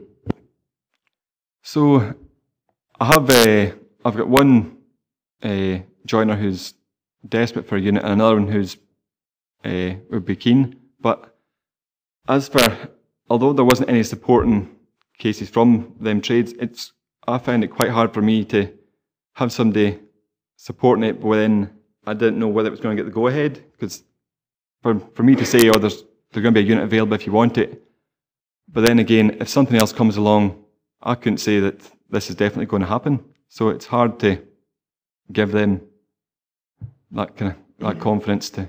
I mean, are you aware generally that uh, in Wigtown there is a need for I feel I, I've uh, been industrial unit space, which isn't there at the moment? Uh, certainly, uh, as for Wigtown, this is the three units that exist in is the only industrial uh, land in Wigtown, um, and the units are on six-year leases. So, and there's obviously speaking to Nick Lane, there is interest from other parties who are phoning asking about availability, and there, there is none. So, as for alternatives, um, unless I'm going to try and move my business further towards Newton Stewart, because um, I, st- I stay pretty local to Wigtown. Um, and obviously, there's, there is uh, more options at Newton Stewart, but that's not really going to aid my business and create uh, opportunities for others in the community. Thanks, Elaine. Jim McColm. Thanks, Chair. Jack, you describe uh, these as units. Now, how do they compare in size with the existing units? Are they half the size or two thirds the size? So the existing three units that are on the site are, I think they're, what are they wide? They're nine metres wide by, uh, I think it's 18 long. So my units are only going to be six by nine. So they're considerably smaller than what's there now, although uh, the height of the, the buildings, my building's slightly lower than the existing. But they're smaller units, apart from obviously my one in the, what be proposed, my one in the corner. And from the plan there, obviously there are a number of parking spaces. How many are actually envisaged there? I think there's so, uh, so there's nine uh, listed there with two disabled. Thanks, Jim. And I'll last I've got Andy.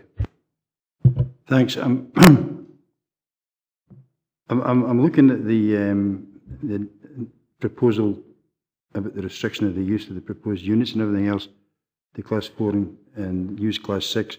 I'm, if it's a, a, a store or a base for small businesses, yeah, get that.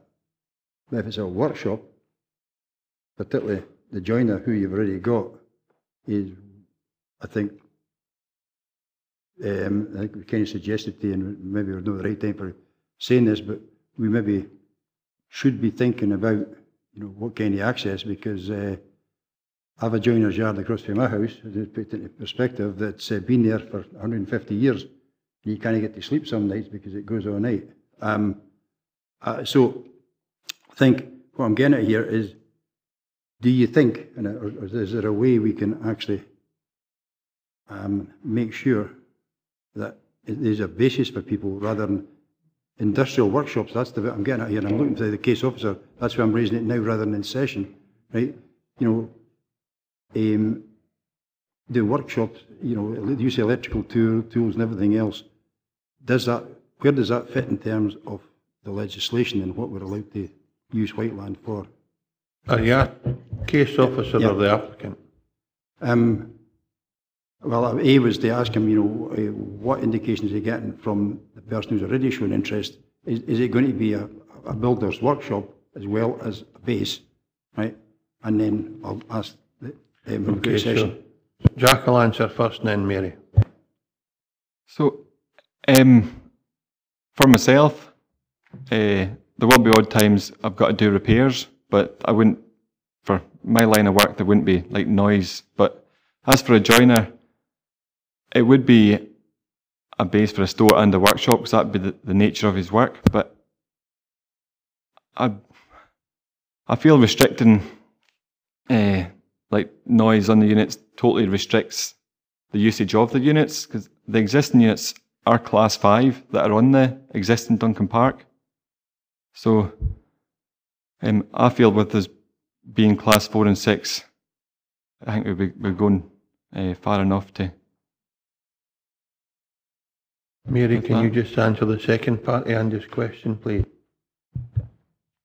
Well, uh, likewise, I don't see the need to restrict the units so much um, to say that they're only for drop offs and pickups. Um, the use class 4 is designed to be suitable for residential areas, so any work that goes on in there should be compatible from an amenity point of view. You've got, you've got, you've got four nine in your report anyway, Andy. Aye, okay. If there are no other questions for the applicant and agent, thank you for presentation and answering the questions. If you'd like to resume your seats, please. We're now in session. And then Ian. Thanks very much, Chair. And, and it's not just in Wigtown that we've got small and medium enterprise issues with with, with um, places for them to be in, in um, either in storage or, or for workshops. I think this is an opportunity for Wigtown, um, and, and therefore I would go with the recommendations uh, in, in the report. Thanks, Archie. Ian? Thank you, Chairman. I've no difficulty with the, the application in, in general terms. I do have some concern, however, on the, the possibility of noise uh, especially with the class six with storage and distribution when historically that could be at all hours of the day or night. Uh, the, the class four, it says by definition, is compatible within any residential area, which again is fine during normal business hours, but during the night, as one of our members mentioned, that keeps them awake, uh, it may cause an issue. I think it wouldn't, I wouldn't like to put any punitive conditions on it, but I think there should be some conditions on it whether it be from uh, between the hours of 6 a.m. and 9 p.m., uh, which would exclude during the night time. So I, I would suggest that as, a, as a, an amendment if there's a, a proposal to, to go ahead. We'll, we'll, we'll try and tidy that up when all members have finished speaking. Ian, uh, Jane? Um, thank you, Chairman. Um, I was actually going to second Councillor Dryburgh's motion, um, please to accept it as per recommendation. Um, I, I, would urge, urge members to realise that um, Class 4 is restrictive in itself. And, um, and I, I, would also urge members to realise that if we do restrict uh, to certain hours, it, it, really does make life much more difficult for small businesses. And I think that's exactly what we are trying not to do with respect to our, our, um, our overall policies. We want to help the economy to grow. Um, mem- people in, in these small units should not be doing anything to make life difficult for their neighbours. And we are making certain through making it class four and class six that they can't do that. So um, I'm perfectly accept, willing to accept the recommendations as they stand. There's also the issue, of course, or, or, or the the ability to enforce any conditions that we apply. I've got, I've had you, Ian, I'll come back to you. I've got Jim McColm. Thank you, Chair. I would echo Councillor Dryburgh's comment that this is the only place such business could be carried out in Wigtown under the current LDP. So the applicant really has very little choice in the matter. And the second point, if this is class four and class six, by definition, the activities here have to be compatible with residential areas. Okay, I presume Ian's wanting to put an amendment in, so I've got Ian Carruthers first, who might be wanting to do something to support you, and then I'll come to you, Ian. It's probably, I'm just being quite black and white in this. I listen to what everybody's saying. I'm, I'm leaning towards the recommendations put forward within the report and Council Dryburgh's put forward. I think it's been supported by a few because I've come across this quite quite a number of times where you have the environmental uh, standards officer out and so on and so forth. So don't see those conditions. I suppose what I really need clarity on. I mean, in real terms, I think I'm supporting it as per the recommendations. But what does a uh, recommendation condition five in, in the recommendations? What it says, and it talks about none of the units hereby granted permission shall be used for any purposes other than for purposes uh, falling within classes four and six. So take it that's four, five, and six. Uh, would it would have to comply with it. it just it's really about this particular as it stands, I think it, it can could be used for or, or accessed 24 hours a day, and it's about the noise issue, I think, in particular, and uh, having a, an adverse effect on the local environment. If it was to be, say, a, almost like a, a joiner's workshop, stroke sawmill, working 24 hours a day, I can completely agree that, that wouldn't be the case, but I wouldn't have thought that would be the case in regards to condition number five. if we could just get that clarified, going back, I think it's very much, we should be supporting the local economy wh- wh- wherever we can. I'll ask David to deal with that and then we'll come to Ian. Uh, Thank you, Chair. Yes, just for clarity, that on page 94, it's making it clear it could only be used for uses within Class 4 or 6. So in other words, a, a business use or storage and distribution. I would accept the, the point that Councillor Blake is making. Certainly the Class 4 ones are self-regulating and you can't, by definition, have it as a sawmill that's operating 24 hours a day and causing a nuisance. It's therefore a change of use. It's moved to general industrial class five if it is that. And there are obviously other uh, statutory noise nuisance issues which could be brought into play. So the class four units don't cause me any concern. The only one which maybe is at the back of my mind is a class six unit doesn't have the same restriction as class four. So technically you could have people using it for storage and coming in and out at all times of the day and night and not be breaching it. Uh, any inherent use class um, condition, if you like. But if you do, um, to come back to what Councillor Maitland was saying, if you do attach a condition about hours of operation, you can do that. Um, there are the six tests that are set out on the front page of your agenda um, under four, where it says a, condition must be necessary, relevant to planning, relevant to the development to be permitted, enforceable, precise and re- reasonable in all other respect. The two I would query there is, is it really necessary? That's a matter for yourselves. If you feel it is necessary, then you, you have the power to attach that. The enforceable one, as the chair mentioned earlier, is probably the one that does cause me some concerns. And really, this was kind of addressed at the, bottom of paragraph 4.8. It will restrict the use, and the chances of us actually being able to, to carry out enforcement action against it are probably limited if you attach that condition, but uh, basically it's open to yourselves is what I'm saying, that you can attach that condition if you feel it's necessary. Yeah, Ian, Ian Blake. Thank you, Chairman. If I can start off by just clarifying a point.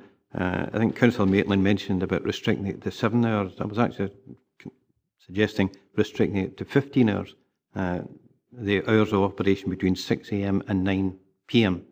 Uh, just to clarify that, I still feel that, that there should be some, if, if it's not going to be punitive, but I think it's unlikely, I still think it would prevent anything happening in the future. So I would like to, to propose the motion that we do impose that, uh, that condition, that it's only for use between 6am or, and 9pm. I'm not protective about the 9pm. If other members think 10pm is fair, uh, that would be fine. But I would certainly go ahead on that just now, 6am to 9pm.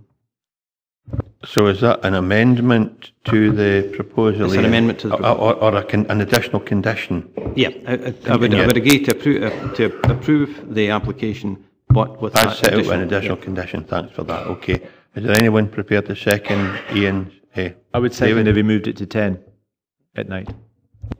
The use is restricted from six AM in the morning to ten at night.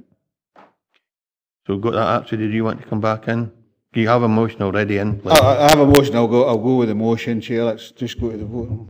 And Jane, you're, the honest issue is I will certainly go with the motion. Um, the fact is, there is absolutely nothing to stop anybody going around there and kind of manoeuvring at night. There's nothing, absolutely nothing that could stop them from doing that.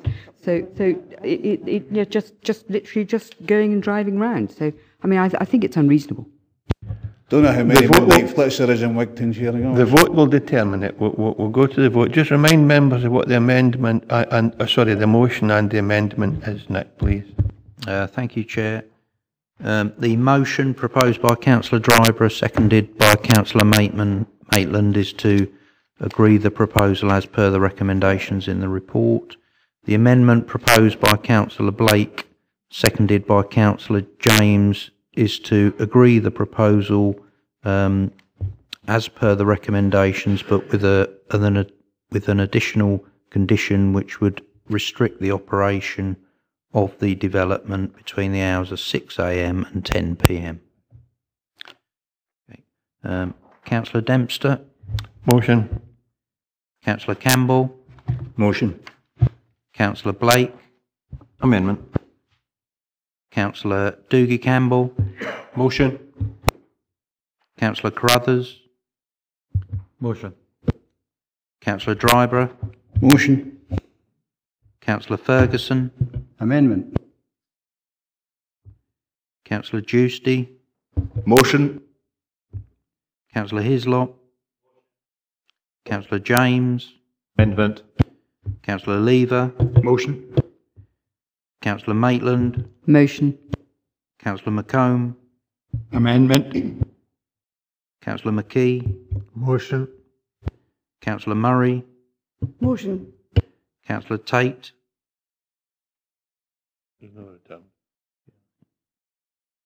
And Councillor Young. Amendment.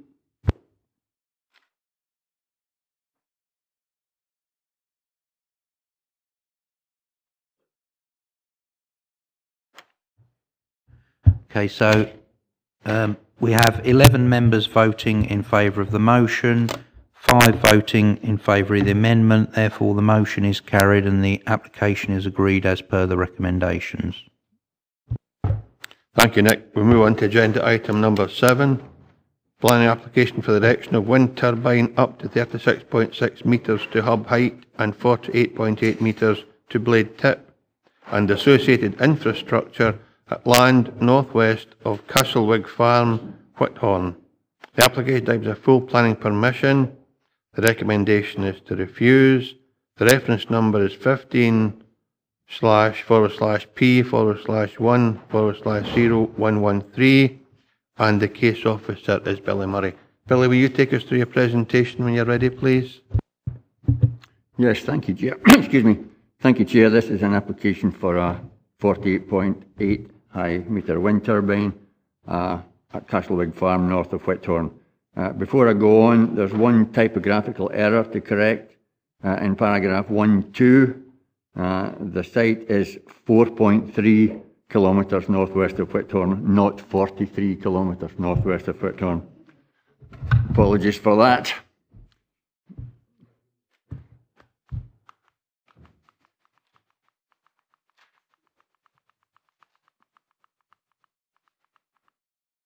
Okay, I'll just take you through the slides. Um, this is the location plan. Uh, as I say, it's 4.3 kilometres northwest of Whithorn.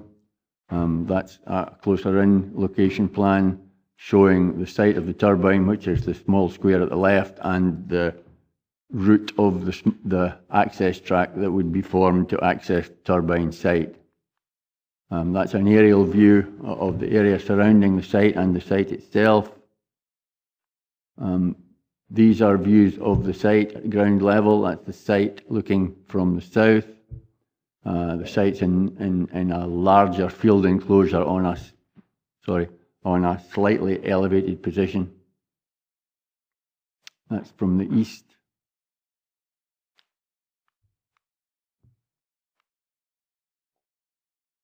That's from the site. So I'm standing on the site there. So it's on a slightly elevated position, more or less in the centre of that field.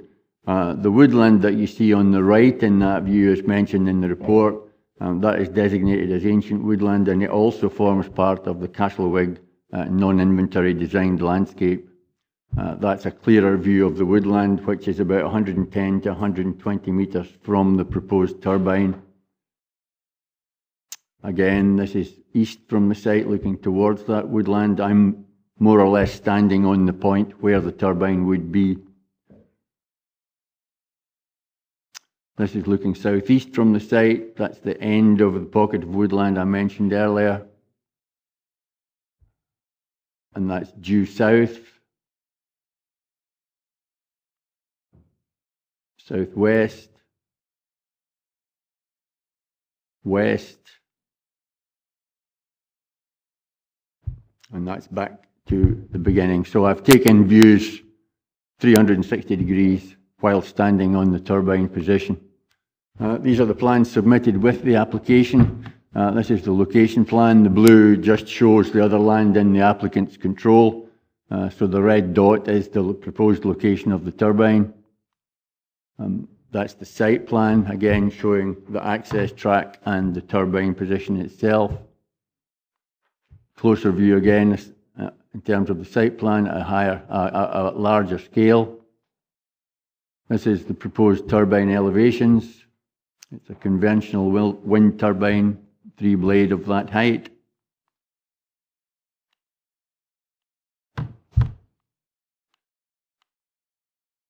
Sorry, I'm working on a hair trigger here today. That's, these are photomontages submitted with the application. That's viewpoint three. That's from the south looking towards uh, the turbine and showing uh, how it would be positioned and how it would look in that view. The woodland on the right, as I mentioned earlier, is the designated woodland. This is, apologies for the quality of the submissions, but that's not in our hands. So this is uh, from a viewpoint, viewpoint nine, that you can just about see the turbine above the tree line. Uh, it's in silhouette in that view.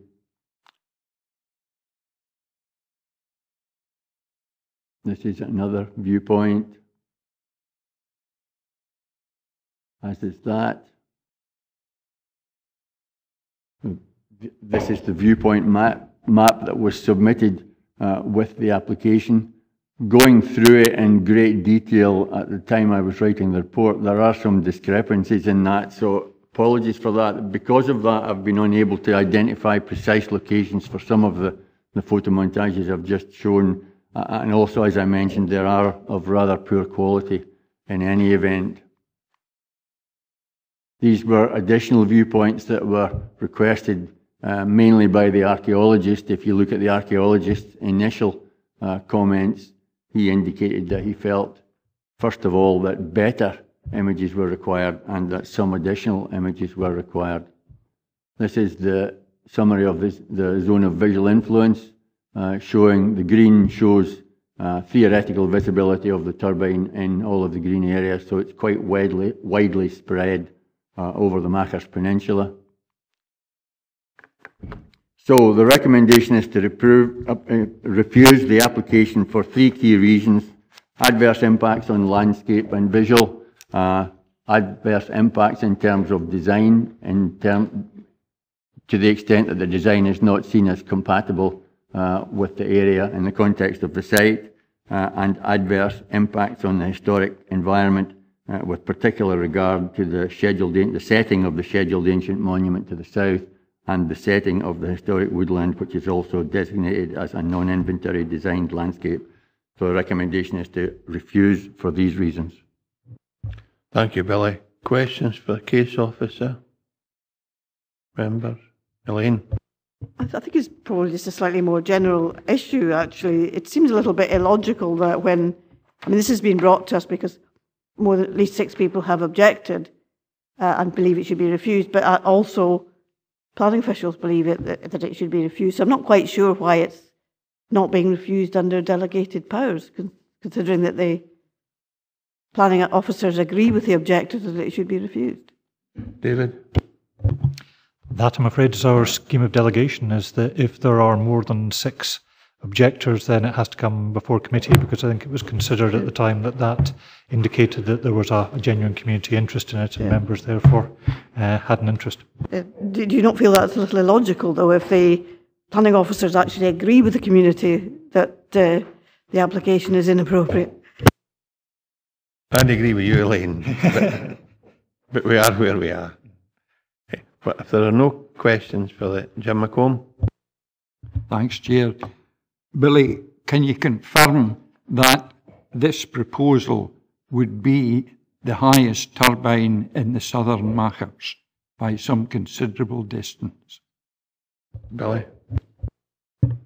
Yes, I can confirm that. There is one uh, turbine at the old station at Garlieston, which is in the order of 29 metres.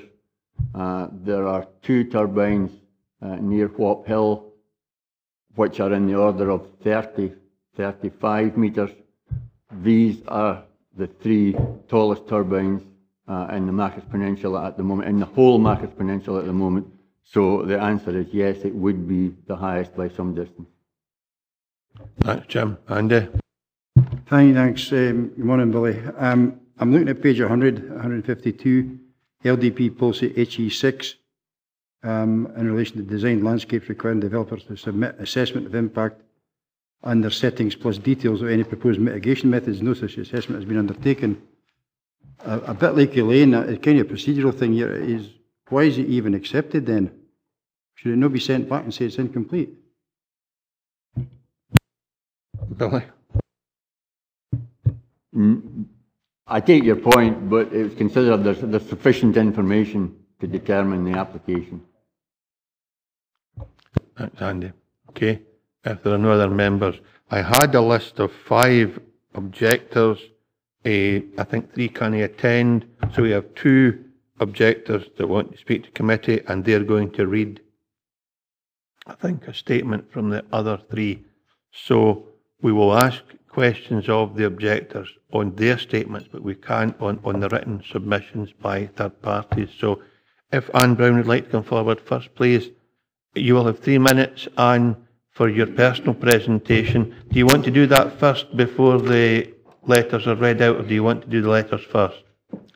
Um, I will do my own uh, first, and then I'll do that of Mervyn Crew, um, and then I'll hand over to my friend and neighbour Jack, who'll do That- his own and the other two. That's perfect. In that case, for your own personal presentation, you'll be limited to three minutes. Mhm. I'll remind you with 30 seconds to go to draw your presentation to a conclusion. Members might want to ask you questions, and then after that's concluded, I'll ask you to read the, the representation you have on For the Mervyn, third party. yeah. Okay, Thank, you. thank you. Just whenever you're ready, Anne. Okay, thank you. Um, hello, I'm Anne Brown, and I live at Castlewood Lodge. Um, I'm very, I consider myself to be very lucky to live on the Machars Peninsula. I chose to live here uh, because of the unique landscape, the historic environment, and the peace and quiet. Uh, I provide bed and breakfast to visitors to the area from my home, Castlewood Lodge, which is a listed building. Some of my visitors are returning guests. They come back year after year, and they always remark on what a special, beautiful, and peaceful place Castlewigg is. The siting of the proposed wind turbine would, had, would have a negative impact on the setting of our historic house uh, and, and also on the setting of the scheduled monument at Castlewigg and the other listed buildings there, and the surrounding natural landscape, and could negatively affect tourism and, of course, my B&B business. People are putting a great deal of creative energy to improve recreational facilities for people who live here and to encourage people to come and visit this remarkable area, and Whithorn in particular. And I have been pleased to be involved in some of these uh, initiatives, for example, the recent Festival of Museums weekend in Whithorn. Um, the proposed turbine would be visible along the main route into Whithorn and, of course, to my house, and would have a negative impact on people making that journey and could counteract all the good work which is presently being done to encourage visitors to the area. Thank you. Do any members have any questions for Anne and her presentation? In that case, if you'd like to read the first of the representations, please, that'd be great, Anne. Thank you. Okay. So this is from Mervyn and Brenda Crew, who live at Mile Park Cottage, Castlewigg. The committee will have read the many objections, including my own, made about this proposal concerning its effect on the natural environment, tourism, and the general quality of life of people living in this area. My plea to the committee at this stage is to avoid setting two dreadful precedents that approval would create. Firstly, for a turbine of this size to be built in the Machars at all, with the encouragement to other landowners that approval would give. Secondly, for anyone to be allowed in any part of Dumfries and Galloway to blight the lives of other people by building a turbine of this size so near to that other person's house, and I refer, of course, to Sorby Lodge. This sort of behaviour is a total disgrace and should surely be resisted by all of us as a community. Thank you. Thanks very much, Anne. If you'd like to resume your seat, thanks for your presentation. Eh, we now have Jack Norgate. Jack, if you'd like to come forward, please. Do you follow the same process? You'll do your own presentation first. Members want to ask questions, and then you can do the other two representations after that. Uh, Good afternoon. I was going to read the representations first and then leave mine till... Be my guest, that's fine. okay. So you understand, we won't ask any questions of the representations, and when Uh-huh. you've done that, your presentation will last three minutes. And then you may want to remain in your seat in case members have questions for you. Thank you. Whenever you're ready, sir. Thank you. Um, the two representations are from Alistair and Elizabeth Vance at uh, Bridge House Farm and also from Nadia Gwynn at Castlewigg Farm. They all extend their apologies to committee for not being able to represent themselves this morning. Mrs Vance writes, with reference to the above proposal, I wish to highlight my concerns of the impact on the surrounding dwelling properties, rural scenic area and the impact on tourism in the area, especially the historic borough of Whithorn. We live and work on the neighbouring farm, and throughout most of the year we have cattle grazing on the fields within very close proximity of the site, uh, over the dike. Our cows give birth in these fields, and I feel the noise of construction of such a windmill, and once it's erected, the noise would be very disturbing to the young animals.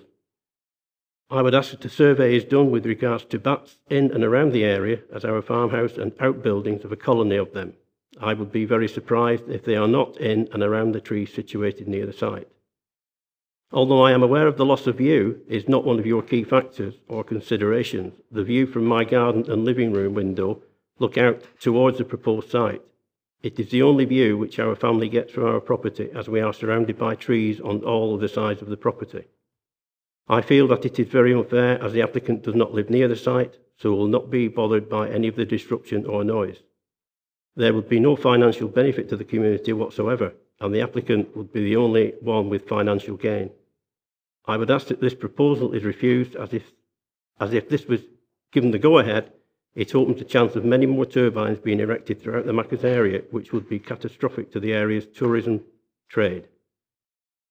Thank you. And from Nadia Gwynn at Castlewigg Farm. My objection to the proposed wind turbine at land northwest of Castlewigg Farm, reference 15 stroke P stroke 10013, is the turbine would be an eyesore and a blight on the landscape, standing at 159 feet to the tip. This is only 10 feet smaller than Nelson's column. The visual and noise impact upon myself and my neighbours would be very detrimental. I also worry that if this application is granted, it will set a precedent uh, of turbines of this size in this beautiful area. Nadia Gwynn. Thank you. For your own when you're ready, sir, and you'll have three minutes with a 30 second reminder just to draw your presentation to a conclusion. Thank you. My name is Jack Norgate. I reside at Sorby Lodge on the old Castlewigg estate. Since I raised my initial objections to the application, certain amendments have been made. For example, the noise level assessment for my property and distance from the proposed construction site, which were omitted on the original specification, have now been included, showing that my property is 248 metres from the construction site and that the noise level assessment is 33.9 decibels, this falling just inside the permitted 35 decibel limit. I respectfully suggest that this noise level assessment is at best not independent. My property stands alone in its own grounds and it is a very quiet and peaceful place to live. The noise from this turbine will cause great disturbance to me and my family. My wife is employed by the Scottish Ambulance Service. She is required to work shifts, days and nights. It is imperative that she gets good sound rest in order for her to carry out her emergency duties, both as an ambulance driver and patient attendant. The proposed application, if successful, will greatly interfere with her rest and sleep patterns. The proposed siting of this turbine is just northwest of Sorby Lodge. The wind blows from the northwest on a regular basis and will carry the noise from the turbine to us at a much greater sound level than that estimated. Should this application be successful, it will set a precedent for other turbines to be installed, which will have a catastrophic consequence for me and the local area. This application is a totally unnecessary venture with no benefit to the immediate area or further beyond, except for the financial interest of the applicant who resides at least four miles from the proposed site, thereby having no detrimental effect on his home, his family, or his way of life. While, while I understand that potential property devaluation is not considered as a reason to refuse an application, I have to submit that this will affect the value of my property while swelling the bank account of the applicant. Thank you. Thank you, and thanks for your time. Any member of the committee have any questions for the gentleman? In that case, sir, if you'd like to resume your seat, thank you very much. Members for in session, Apsey, and then Elaine. Chair, I'm surprised that the applicant isn't here, um, uh, but I think from, from what I've seen and what I've heard, I think we need to go with the recommendations on this one. Elaine? No, my point entirely is I think this is an inappropriate application and uh, we should go with the recommendations. So I'll second Councillor Dryburgh's motion. Thanks, Elaine. Andy? Um, totally agree, and um, I, I made my, my, my view clear earlier. Um, I don't know if it needs the scheme of delegation needs to be looked at or whatever, but if it's not compliant with the requirements of the HDP, uh, uh, the LDP, we should, it's not, you know, should we consider it as a valid application? Um, and I think maybe a bit, a bit more stringent. There's a lot of man hours and people hours and committee hours and everything else going into this, um, and they've no completed what they need to complete. If that's the view of the committee, I can ask David to convey that message back. The view of the committee. David? Maybe just to clarify, there is a minimum requirement to make an application valid, uh, which is a, a, relatively low threshold. Uh, therefore, we have to accept the application. It's whether or not it's got enough information to allow us to properly determine it. In this particular instance, um, Billy could probably give more information on this, but as I understand it, you'll note it's a 2015 application. We had tried to get um, adequate levels of information uh, for some time and then tried to, because that was, it was really not going to be one we could support, tried to get the applicant to withdraw it and they refused to, which is why ultimately we've had to bring it to committee just to bring it to an end. Thanks, Andy. That was a slight digression. So we have a proposal from Archie, seconded by Elaine, to go with the officer's recommendation. Are there any alternative proposals? In that case, it's unanimous decision. Nick? Yep, the decision is to refuse as per the reasons set out in the report.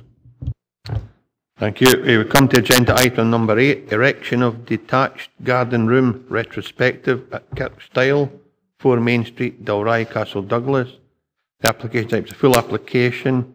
The recommendation is to approve subject to condition. The reference number is 18 stroke 0580 stroke full. And the case officer is Oh, it's no, it's Iona. No, it's Jessica. Uh, Jessica, is it Jessica? Of course it is. My goodness, uh, Jessica Taylor. Jessica, will you take us through your presentation, please? Thank you, Chair. Uh, so, Far Main Street um, is a traditional dwelling house located uh, on the main street. There is a mixture of um, buildings around the dwelling. To the northwest is the church. Uh, to the northeast is the village hall. Um, to the northeast of the uh, actual dwelling itself is, is a residential property number six. Um, the garden room um, is a timber construction measuring approximately 8.2 metres by 5.6 metres uh, with approximate height of 3.5 metres. Uh, the garden ground does slope uh, upwards at the rear of the property, so the garden room is in, a, in an elevated position. Um, to the front, you'll see there's a decked area which has stairs down onto the lower area of, of garden. Taking through some photographs. So this is the view from inside the garden of the garden room. Again, from within the application site, it's showing the decking and the stairs down. Uh, another photo from within the site. Um, you'll note there was a objection regarding overlooking to the neighbouring site. Um, the, app, the garden, the applicant's garden does do a dog leg, so it does go behind the, the number six. Um, and that window on the right hand side is the one that um, faces that boundary. But there is approximately 21 metres between that window um, on the right and the back of the neighbouring property. Again, just some more views. And this was taken from the uh, hall um, overlooking the site, so that's the roof of the, the garden. Um, I think thing with this is the concerns have been raised by the Community Council and objectors regarding um, the use of the building. Um, and I think I've drawn members' attention to 4.9 of the report, which addresses the matter. A domestic structure in a domestic garden um, is not usually considered to be uh, create a land use conflict um, antisocial levels of noise that may come from the garden room is not a matter which the planning authority can control or take into consideration. A person using the garden room to produce music could potentially create the same amount of noise in their garden or in the main house. um, and there is other routes that to deal with potential noise issues under separate legislation. Um, the application is recommended for approval with the standard condition regarding the garden room being for domestic use. Thank you, Jessica. Members, questions for case officer? Dougie? Thanks, Chair. Um, it, it's clear from the, the papers that there is uh, some dispute as to the intended uh, use of the the the, the structure. Um, and I'm interested to know uh, uh, case officer's visit to the location whether uh, it, the, the, it was considered to be a garden room or whether it was uh, had the appearance of a, a music studio. And I'm also interested in the, the condition that's been recommended in relation to um, no uh, commercial um, uh, relation to the, the music um, from the location. Um, I'm not. I'm, I'm, I'm unclear. Perhaps explain that condition in a wee bit more detail, because the objections that, that are in the papers appear to be in relation to noise levels, um, and I'm wondering why it's, it's, it's been made specifically relevant to commercial uh, use. Thanks, Jessica. Um, I wasn't the case officer, so I can't comment on the site visit, but um, in usual circumstances, there wouldn't be any reason in, in a case like this for the site, uh, the officer to actually go inside the, the room itself, so they would just see what the photograph she's taken on the site is, is what you've shown today. Um, in terms of the standard condition, it is a standard condition we attach to um, separate outbuildings within domestic gardens to ensure that they aren't used for any purpose other than ancillary to the main house. It is a standard condition that we use, for example, on garages when they're detached so that you don't have them repairing motor vehicles. So it's not something that we've um, specifically, we've added it to this, but it's, it is a standard condition we, we have used on other developments. I'll, I'll get David to come for an additional bit of information if you want, Doug, because we had had a discussion about that earlier today. David, can you help Doug with that? The, the material difference here is if that was being operated as a commercial recording studio, where you were encouraging people to come in and use that facility in exchange for money, then that becomes a completely different use. If, like me, you're a sad person who owns lots of guitars and sits at home and plays and does quite a lot of recording and writing and stuff like that, then this would be perfect. I would love one of these, but um, I don't. I certainly don't make any money out of it. I'll probably get refused. Yeah, I know. Uh, so I think that's the difference. It's if you are using this because it is ancillary to your use as a, a domestic dwelling house, as your own house, um, and that can even have friends coming around and playing things as well, which is what we understand they probably are using it for but they're not using it as a commercial recording studio. It's ancillary to the use of the dwelling house. So it would actually comply with the terms of the condition. As Jessica was saying before, if they are then making uh, antisocial noise in there, there are other ways and means of dealing with it. But really, the key paragraph, as uh, was alluded to, is paragraph 4.9. There's no inherent land use conflict about a garden shed in a domestic garden. Dougie? I've got Dougie, Elaine, Jock, and then Andy. Okay, if, if I could uh, just come back on that. Um, there's been reference to uh, being used as a recording studio, um, but the, the condition only makes reference to commercial use. Therefore, would, for example, um, the shed being used for music lessons, where people were paying for lessons, would that be in conflict with the condition as it is laid out? And I'm assuming, you know, uh, from what you're saying is if, if, it was a gathering of people with guitars in the room, and maybe you would be there, David, I don't know, but um, would would that clearly that would not be in conflict? But um, it's just this um, clarification, please, on if it was lessons that were being provided. David. It's always a matter of fact and degree on that one. You get a lot of people who are, say, piano teachers at their home, and that is how they make their living, but on a fact and degree basis, it's still predominantly a residential property.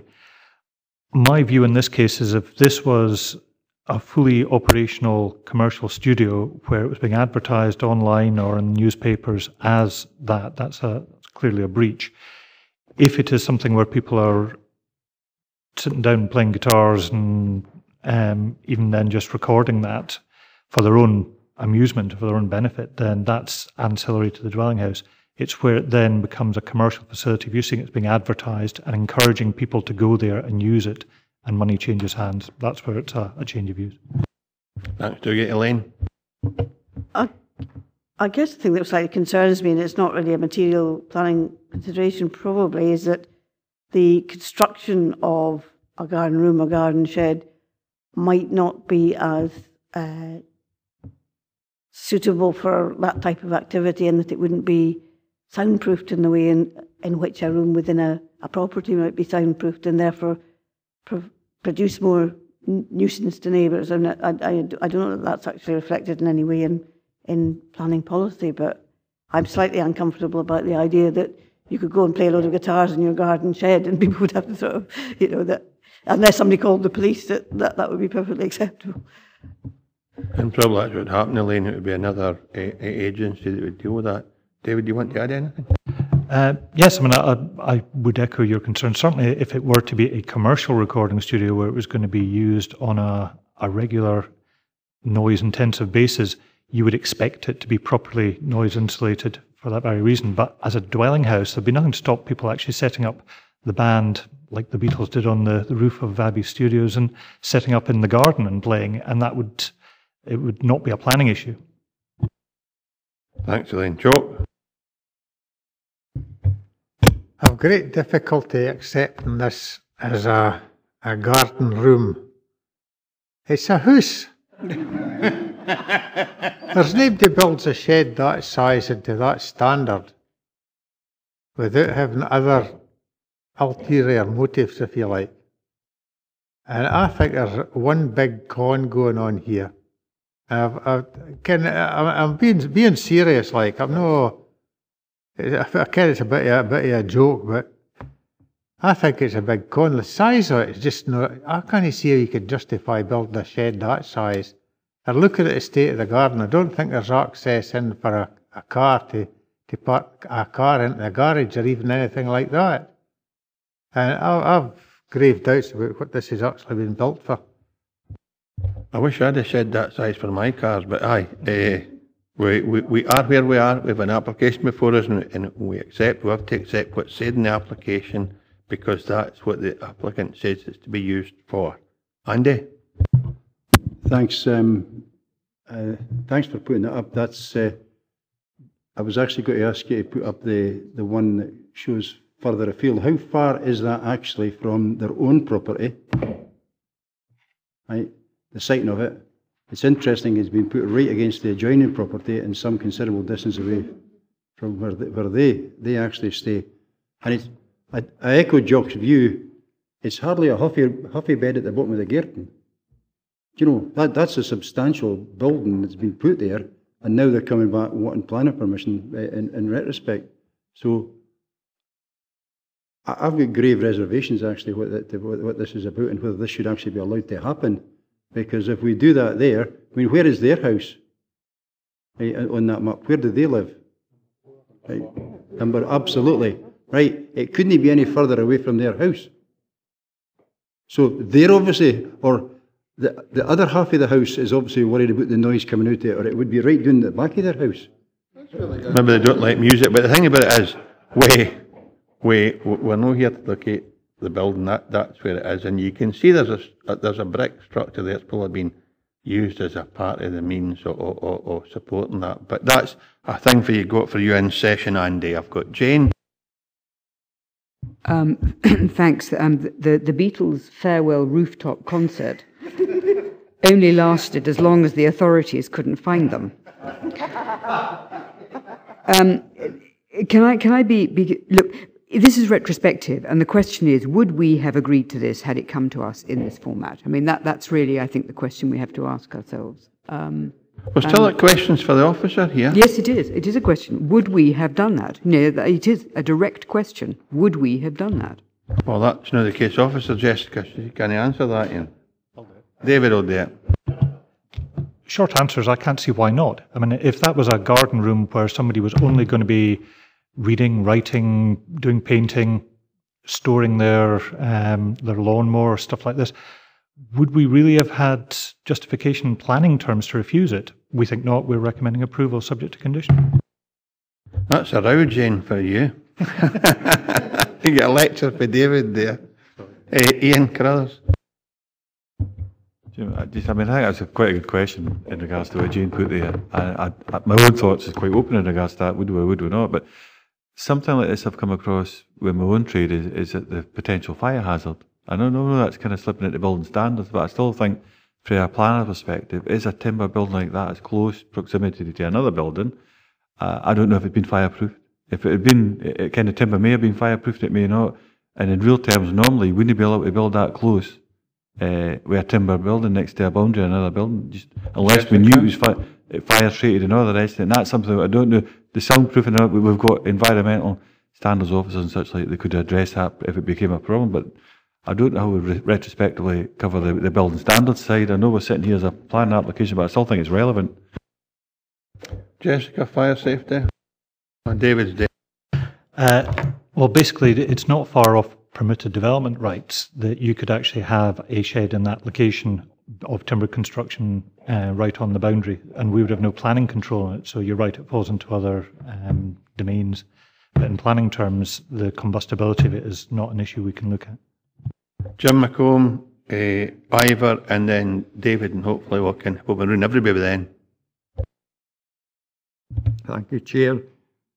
Looking at the photographs, this is a structure which is 27 feet long and 18 and a half feet wide. To, to me, that is a holiday lodge, not a shed. Certainly. We're at questions for the case officer at the moment, Jim. Right, okay, Chair, I take your I hope the next two are questions I for the case officer. Okay. Ivor? Chair, just wondering if the condition is necessary and is it enforceable? Uh, I could give you an example of one that we did many years ago next to my mother's house where there was a garage put in place. It was for uh, the same sort of thing where it was for the, how is it to say it, the enjoyment of the dwelling house. And there was cars in and out of there every day. Uh, nobody bothered to actually uh, enforce anything. So is this actual condition enforceable uh, in the way it's written? It's a question, David. Yes and yes. Will it be? Well, David said yes. David, and then Elaine. Um, yes, it's 46 uh, square metres, eight, eight, eight by five and a half or so. Um, what's the threshold for permitted development? How big can a shed be? Jessica? Uh, it's, hard to answer that one because it can be up to, uh, it, there's no restraints on in terms of um, the square meterage of it. It's, it's where it is in the garden um, and how far it is away from the boundary and the height of it. So um, it, it can have a structure that's um, very large if it meets the other requirements in terms of the distances away from boundaries and, and the height. So you can get an, a, a substantial um, structure. It also applies on 50% of the garden, and this garden in this case is a large garden. Yeah, yes. So you can do up to 50% of your garden, and in this case it is a large garden. It has to be one metre away from the boundary, and I'm testing it at four metres in height. Three. Good. We've got Elaine and then John Young. I'm just following on from Councillor McColm's question. I just wondered what's inside this building. Does it have services, for example? Is there a toilet or a sink or anything like that inside it? No need it, maybe. Uh, I, I don't oh, believe. if they're not applying for that, w- w- it's no consideration. Uh, John Young? I, I actually thought a garden room was a, a, a building without services. And as soon as you put toilet facilities, cooking facilities, a shower, for instance, then it no longer was classified as a garden room, it became a cabin. You get the layout, Jessica?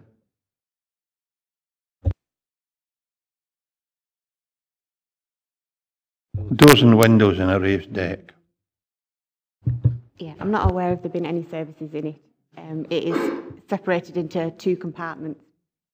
um, but I'm not aware of any services. Andy? Thanks. Uh, It's a question, um, does the, the house that owns the land that this was built on, is it a listed building?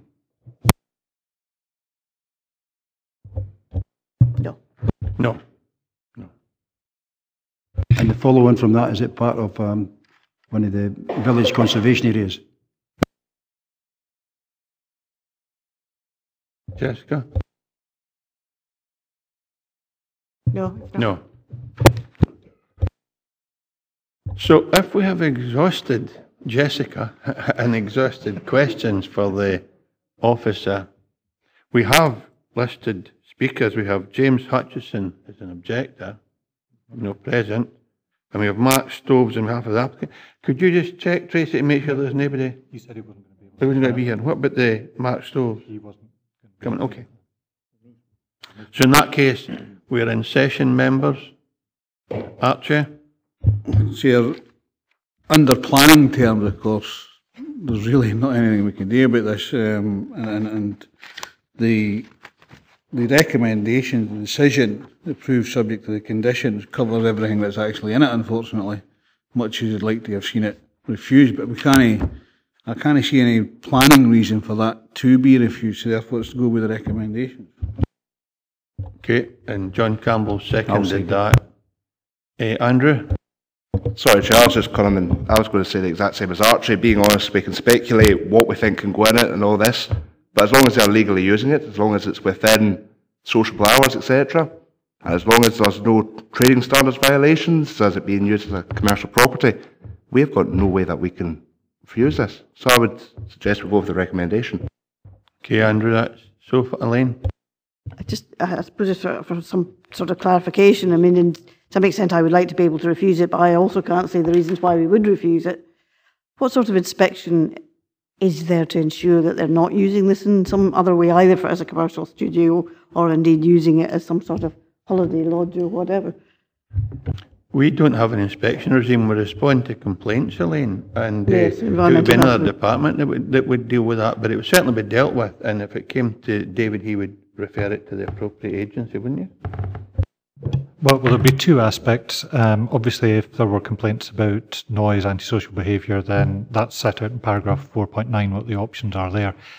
If it's approved and subject to the condition, then it is something that I'm sure neighbours would alert us to very quickly with uh, you know, copies of internet adverts or whatever as a commercial studio. On that stage, we would uh, clearly be able to challenge it uh, and request either an application for a change of use or that the activity cease. Thanks, Elaine. Dougie? Uh, um, Thank you. Um, Just following on from the the the planning enforcement element of it, it- I mean, it's clear from a a correspondence I think members all received um, yesterday, I think it was, that there's a Facebook page advertising this particular shed as a a music studio. So my question is, with the the condition that is being proposed, would planning enforcement officers be entitled to actually enter this garden room to see what's inside? Uh, or is it going to be the same as the planning process that they can only look at the outside of the, the, the structure? Well, luckily Jess- Jessica's the enforcement officer, so Jessica will tell you. Yes, we, we can uh, then find out the use, uh, uh, go inside. We have to, because it's domestic property, give notice for that visit. Um, but I think in this case, it will be quite clear uh, if it was being used um, for commercial business by, by the fact that of the Facebook page and uh, other uh, the, the usage and people coming to and from. Okay, so so far we have a proposal from Archie, seconded by John. If there are no alternative proposals, go with the recommendation, a unanimous decision. Nick? Yep, so the, the decision is to approve subject to conditions set out in the report. Okay, John Young's about to leave us. We come to agenda item number nine. Application for change of use of first and second floor offices to dwelling at 92 King Street, Castle Douglas. Application types full application. Uh, the recommendation is to approve unconditionally. Reference number is 18 forward slash 213 forward slash full. Case officer in this instance, David Sutty. And David, just when you're ready to take us through your presentation, please. Thank you, Chair. Just standing in for Iona today. Um, this is a property on uh, King Street in Castle Douglas, just uh, on the corners. You'll see, those who probably know it as Post Horn 90, and this involves the uh, first and second floor above the retail unit. The application's obviously only before yourselves because of who the applicant is. In other terms, in planning terms, it's wholly acceptable, indeed uh, to be encouraged if you're bringing a vacant unit into use. Uh, the entry is there, you can see in the, the centre. You, you go through there and then to the upper two floors. That's uh, just the first floor plan. And this is over the, the two floors, so you can see it would fairly readily allow itself to be converted back into residential use. The, on the, the second floor is already a bathroom and uh, there's a kitchen there as well. So I say it's uh, really just because of who the applicant is, it's before you, but recommendation is to approve. Questions for the case officer, Elaine, and then Archer. Questions for the case officer, aye? I don't know if it's really a question, actually, all I was, just an observation that this would appear to be in accordance with the council's desire to uh, have people living in town centres again, so that's probably not a question. Maybe more. That's an observation. Is it, is it, would it accord with our, our policies of bringing people into the town centre? Questions for the case officer? None? Okay, in session. That's it. Go with the recommendation, Chair. Seconder? Everybody? Everybody. Okay. Do you, do you need a seconder or just a unanimous decision, Nick? As long as he doesn't use it as a music stereo. Unanimous decision. Okay, thank you. We come to agenda item number 10. Display of freestanding information board and installation of two uplighters to existing east and west town entry signs at town entry Sanquhar. The application type is application display adverts. The recommendation is to approve unconditionally. Reference number is 18 stroke 0203 stroke ADV and uh, the case officer is Jessica. Jessica, take us through your presentation, please. Uh, you, yeah, you're going to see a, a theme occurring on the next year, a few items, so I'll, I'll run through the photos as quickly as I can. So the first application is for gateways to um, Sanquhar, um, so, and an information board on the uh, railway station. Uh, so the information board is proposed within the car park, um, and the board, board would measure approximately 2.2 metres in height by 0.73 metres in width. And we've got uh, the to the western entrance of um, Sanquhar on the A76. Uh, there's going to be an existing sign that will be repaired, refurbished, uh, and some lighting installed, which is locations. And again on the east, uh, again it'll be repaired and refurbished. So this is the um, information board, and this photograph of, of the uh, station car park. And the eastern entrance to the town, so you can see the existing sign there and the western with the existing sign. It's recommended for approval. Thank you, Jessica. Question for case officer, Joe McKay. Why has the uplighting been refused on Kirkconnel and Kelloholm and it's granted for Sanquhar? Sanquhar's a royal borough. Well, I would, I would certainly have objected on that, those grounds. We'll, we'll take one at a time, though. Uh, uh, question for the case officer for the uh, agenda item 10. No, it's just, well, it's just, why, why has uh, uh, Transport Scotland has refused and gets Kirkconnel? Kirkconnel's next, Joe. You can ask the question at 11. We're in 10 now. Why, why has, has it been granted in one area and no another? It's in the same road, and it's the same sort of lighting. Why has it been granted for one and no the other?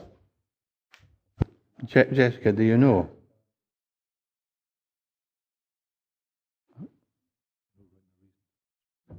Jessica. Um, no, I don't know the reason actually. I was just looking at that. Um, but they've raised really, they've not raised objections. They were just concerned about the level of the lighting. Um, but actually, we've confirmed with the applicant that the level won't exceed what Transport Scotland want anyway. Don't know. Andy, questions for officers? No? Okay. For no questions for officers, we're in session. Yeah, Jane Maitland. No, no it was- just about the lighting issue, about um, uh, um, whether we, we have policies about lighting going up the way as opposed to down the way. I'm just curious that that they're, they're, they're that, that we're accepting this. I don't, don't know why we wouldn't simply say, look, surely be better to go down the way rather than up. Currently, we uplight Sanquhar Castle, the museum and the toll booth, Sanquhar Town Hall, and uh, the parish church. Oh, uplight. So it must be a, a consistency, if nothing else. Members' decisions? Agreed. Come to agenda item number 11. Uh, application for the display of three freestanding town entry signs at town entries and Bridge, Kirkconnel. Reference number 18 stroke 0255 stroke ADV. Uh, recommendation to approve unconditionally. Jessica? Uh, as, as similar to the last application, three signs are proposed. Uh, western entry point on the A76, an eastern entrance at the A76, and one on Needle Street immediately north of the bridge over the River Nith. Um, again, you see on the right-hand side the design. Uh, so, signage design. And so this is the western and the east. Right. And the bridge location. And it's recommended for approval.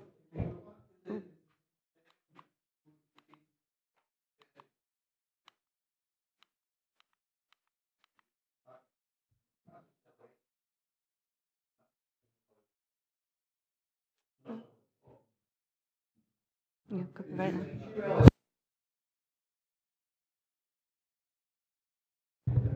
Yep, so it's two entrance signs.